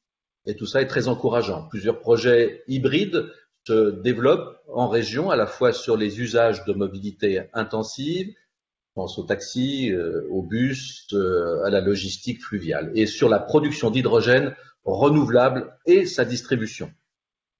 Au regard de sa densité de population et de l'élargissement progressif des zones à faible émission, notre Île-de-France est un territoire, je crois, clé pour l'accélération et le déploiement de solutions hydrogène l'ambition portée par la région Île-de-France à travers sa stratégie énergie-climat d'une région 100% renouvelable en 2050 constitue également un outil indéniable de fort potentiel en solaire photovoltaïque, méthanisation, biomasse et énergie de récupération sont donc identifiés, pouvant permettre une part, nous l'espérons, d'autoproduction de son hydrogène avec euh, un foisonnement d'initiatives. Euh, l'enjeu est de confirmer cette phase d'activité de l'hydrogène. C'est l'ambition des partenaires du Club Hydrogène Île-de-France euh, que sont aux côtés de l'acteur de la REC, la région IDF, la région Île-de-France, l'ADEME Île-de-France, la DRIE et la FIPAC. Je tiens, chers amis, à, à vous remercier, à les remercier pour le travail partenarial que nous avons engagé. L'objectif du club est de rassembler, fédérer les initiatives et aider au développement de projets forcément multi-acteurs au, vu de l'hybridation et de la diversité des solutions que propose l'hydrogène. L'AREC se réjouit donc euh, à contribuer à cette dynamique et de porter l'animation du club euh, hydrogène qui s'inscrit pleinement dans sa mission de facilitateur, d'ensemblier de la transition énergétique en Ile-de-France. Ce club est votre club et nous souhaitons vous associer à la définition et à la mise en œuvre de ces activités afin qu'elles répondent au mieux aux besoins. Je vous invite euh, ainsi à, répondre, ce que vous disiez, Marie-Laure et Thomas, à l'enquête que vous allez recevoir très prochainement. Je voudrais une nouvelle fois remercier l'ensemble des intervenants pour la qualité de leurs exposés et les collaborateurs qui ont si bien travaillé ce matin. Les intervenants étaient euh, aussi passionnants, euh, que ce soit Philippe Boucli, euh, Monsieur Lannoy pour Initio, je crois, Madame Caron pour la région, Raphaël Gerson et, et Yvan. Je, je, vous remercie en tout cas d'avoir largement contribué à cette explication. Je remercie également mon collègue Marc Fro qui est à mes côtés et, et qui vous suit au sein du, au sein du club et de la REC. Voilà, je vous donne donc, je crois, rendez-vous, euh, chers amis, le 29 septembre euh, pour un deuxième webinaire du, club. Je crois que les choses sont bien lancées et, s'organisent. Un, grand merci à vous tous et, très bonne journée. Merci beaucoup. Merci à toutes et tous euh, de nous avoir suivis avec assiduité quasiment jusqu'au bout. Euh, donc, euh, comme on vous l'a dit, un questionnaire vous sera euh, transmis normalement en, en, quittant la conférence, sinon ce sera notre effectivement un premier rendez-vous fin septembre, mais on en prévoit d'autres pour la fin d'année. Et là, pour le coup, ce sera aussi en fonction des réponses au questionnaire. D'où le fait la, la nécessité de répondre. Merci à toutes et tous et on l'espère à très vite en physique aussi. Merci. Merci, au revoir. Au revoir, merci beaucoup. Au revoir. Au revoir. Au revoir à tous. Merci beaucoup. Au revoir. Au revoir.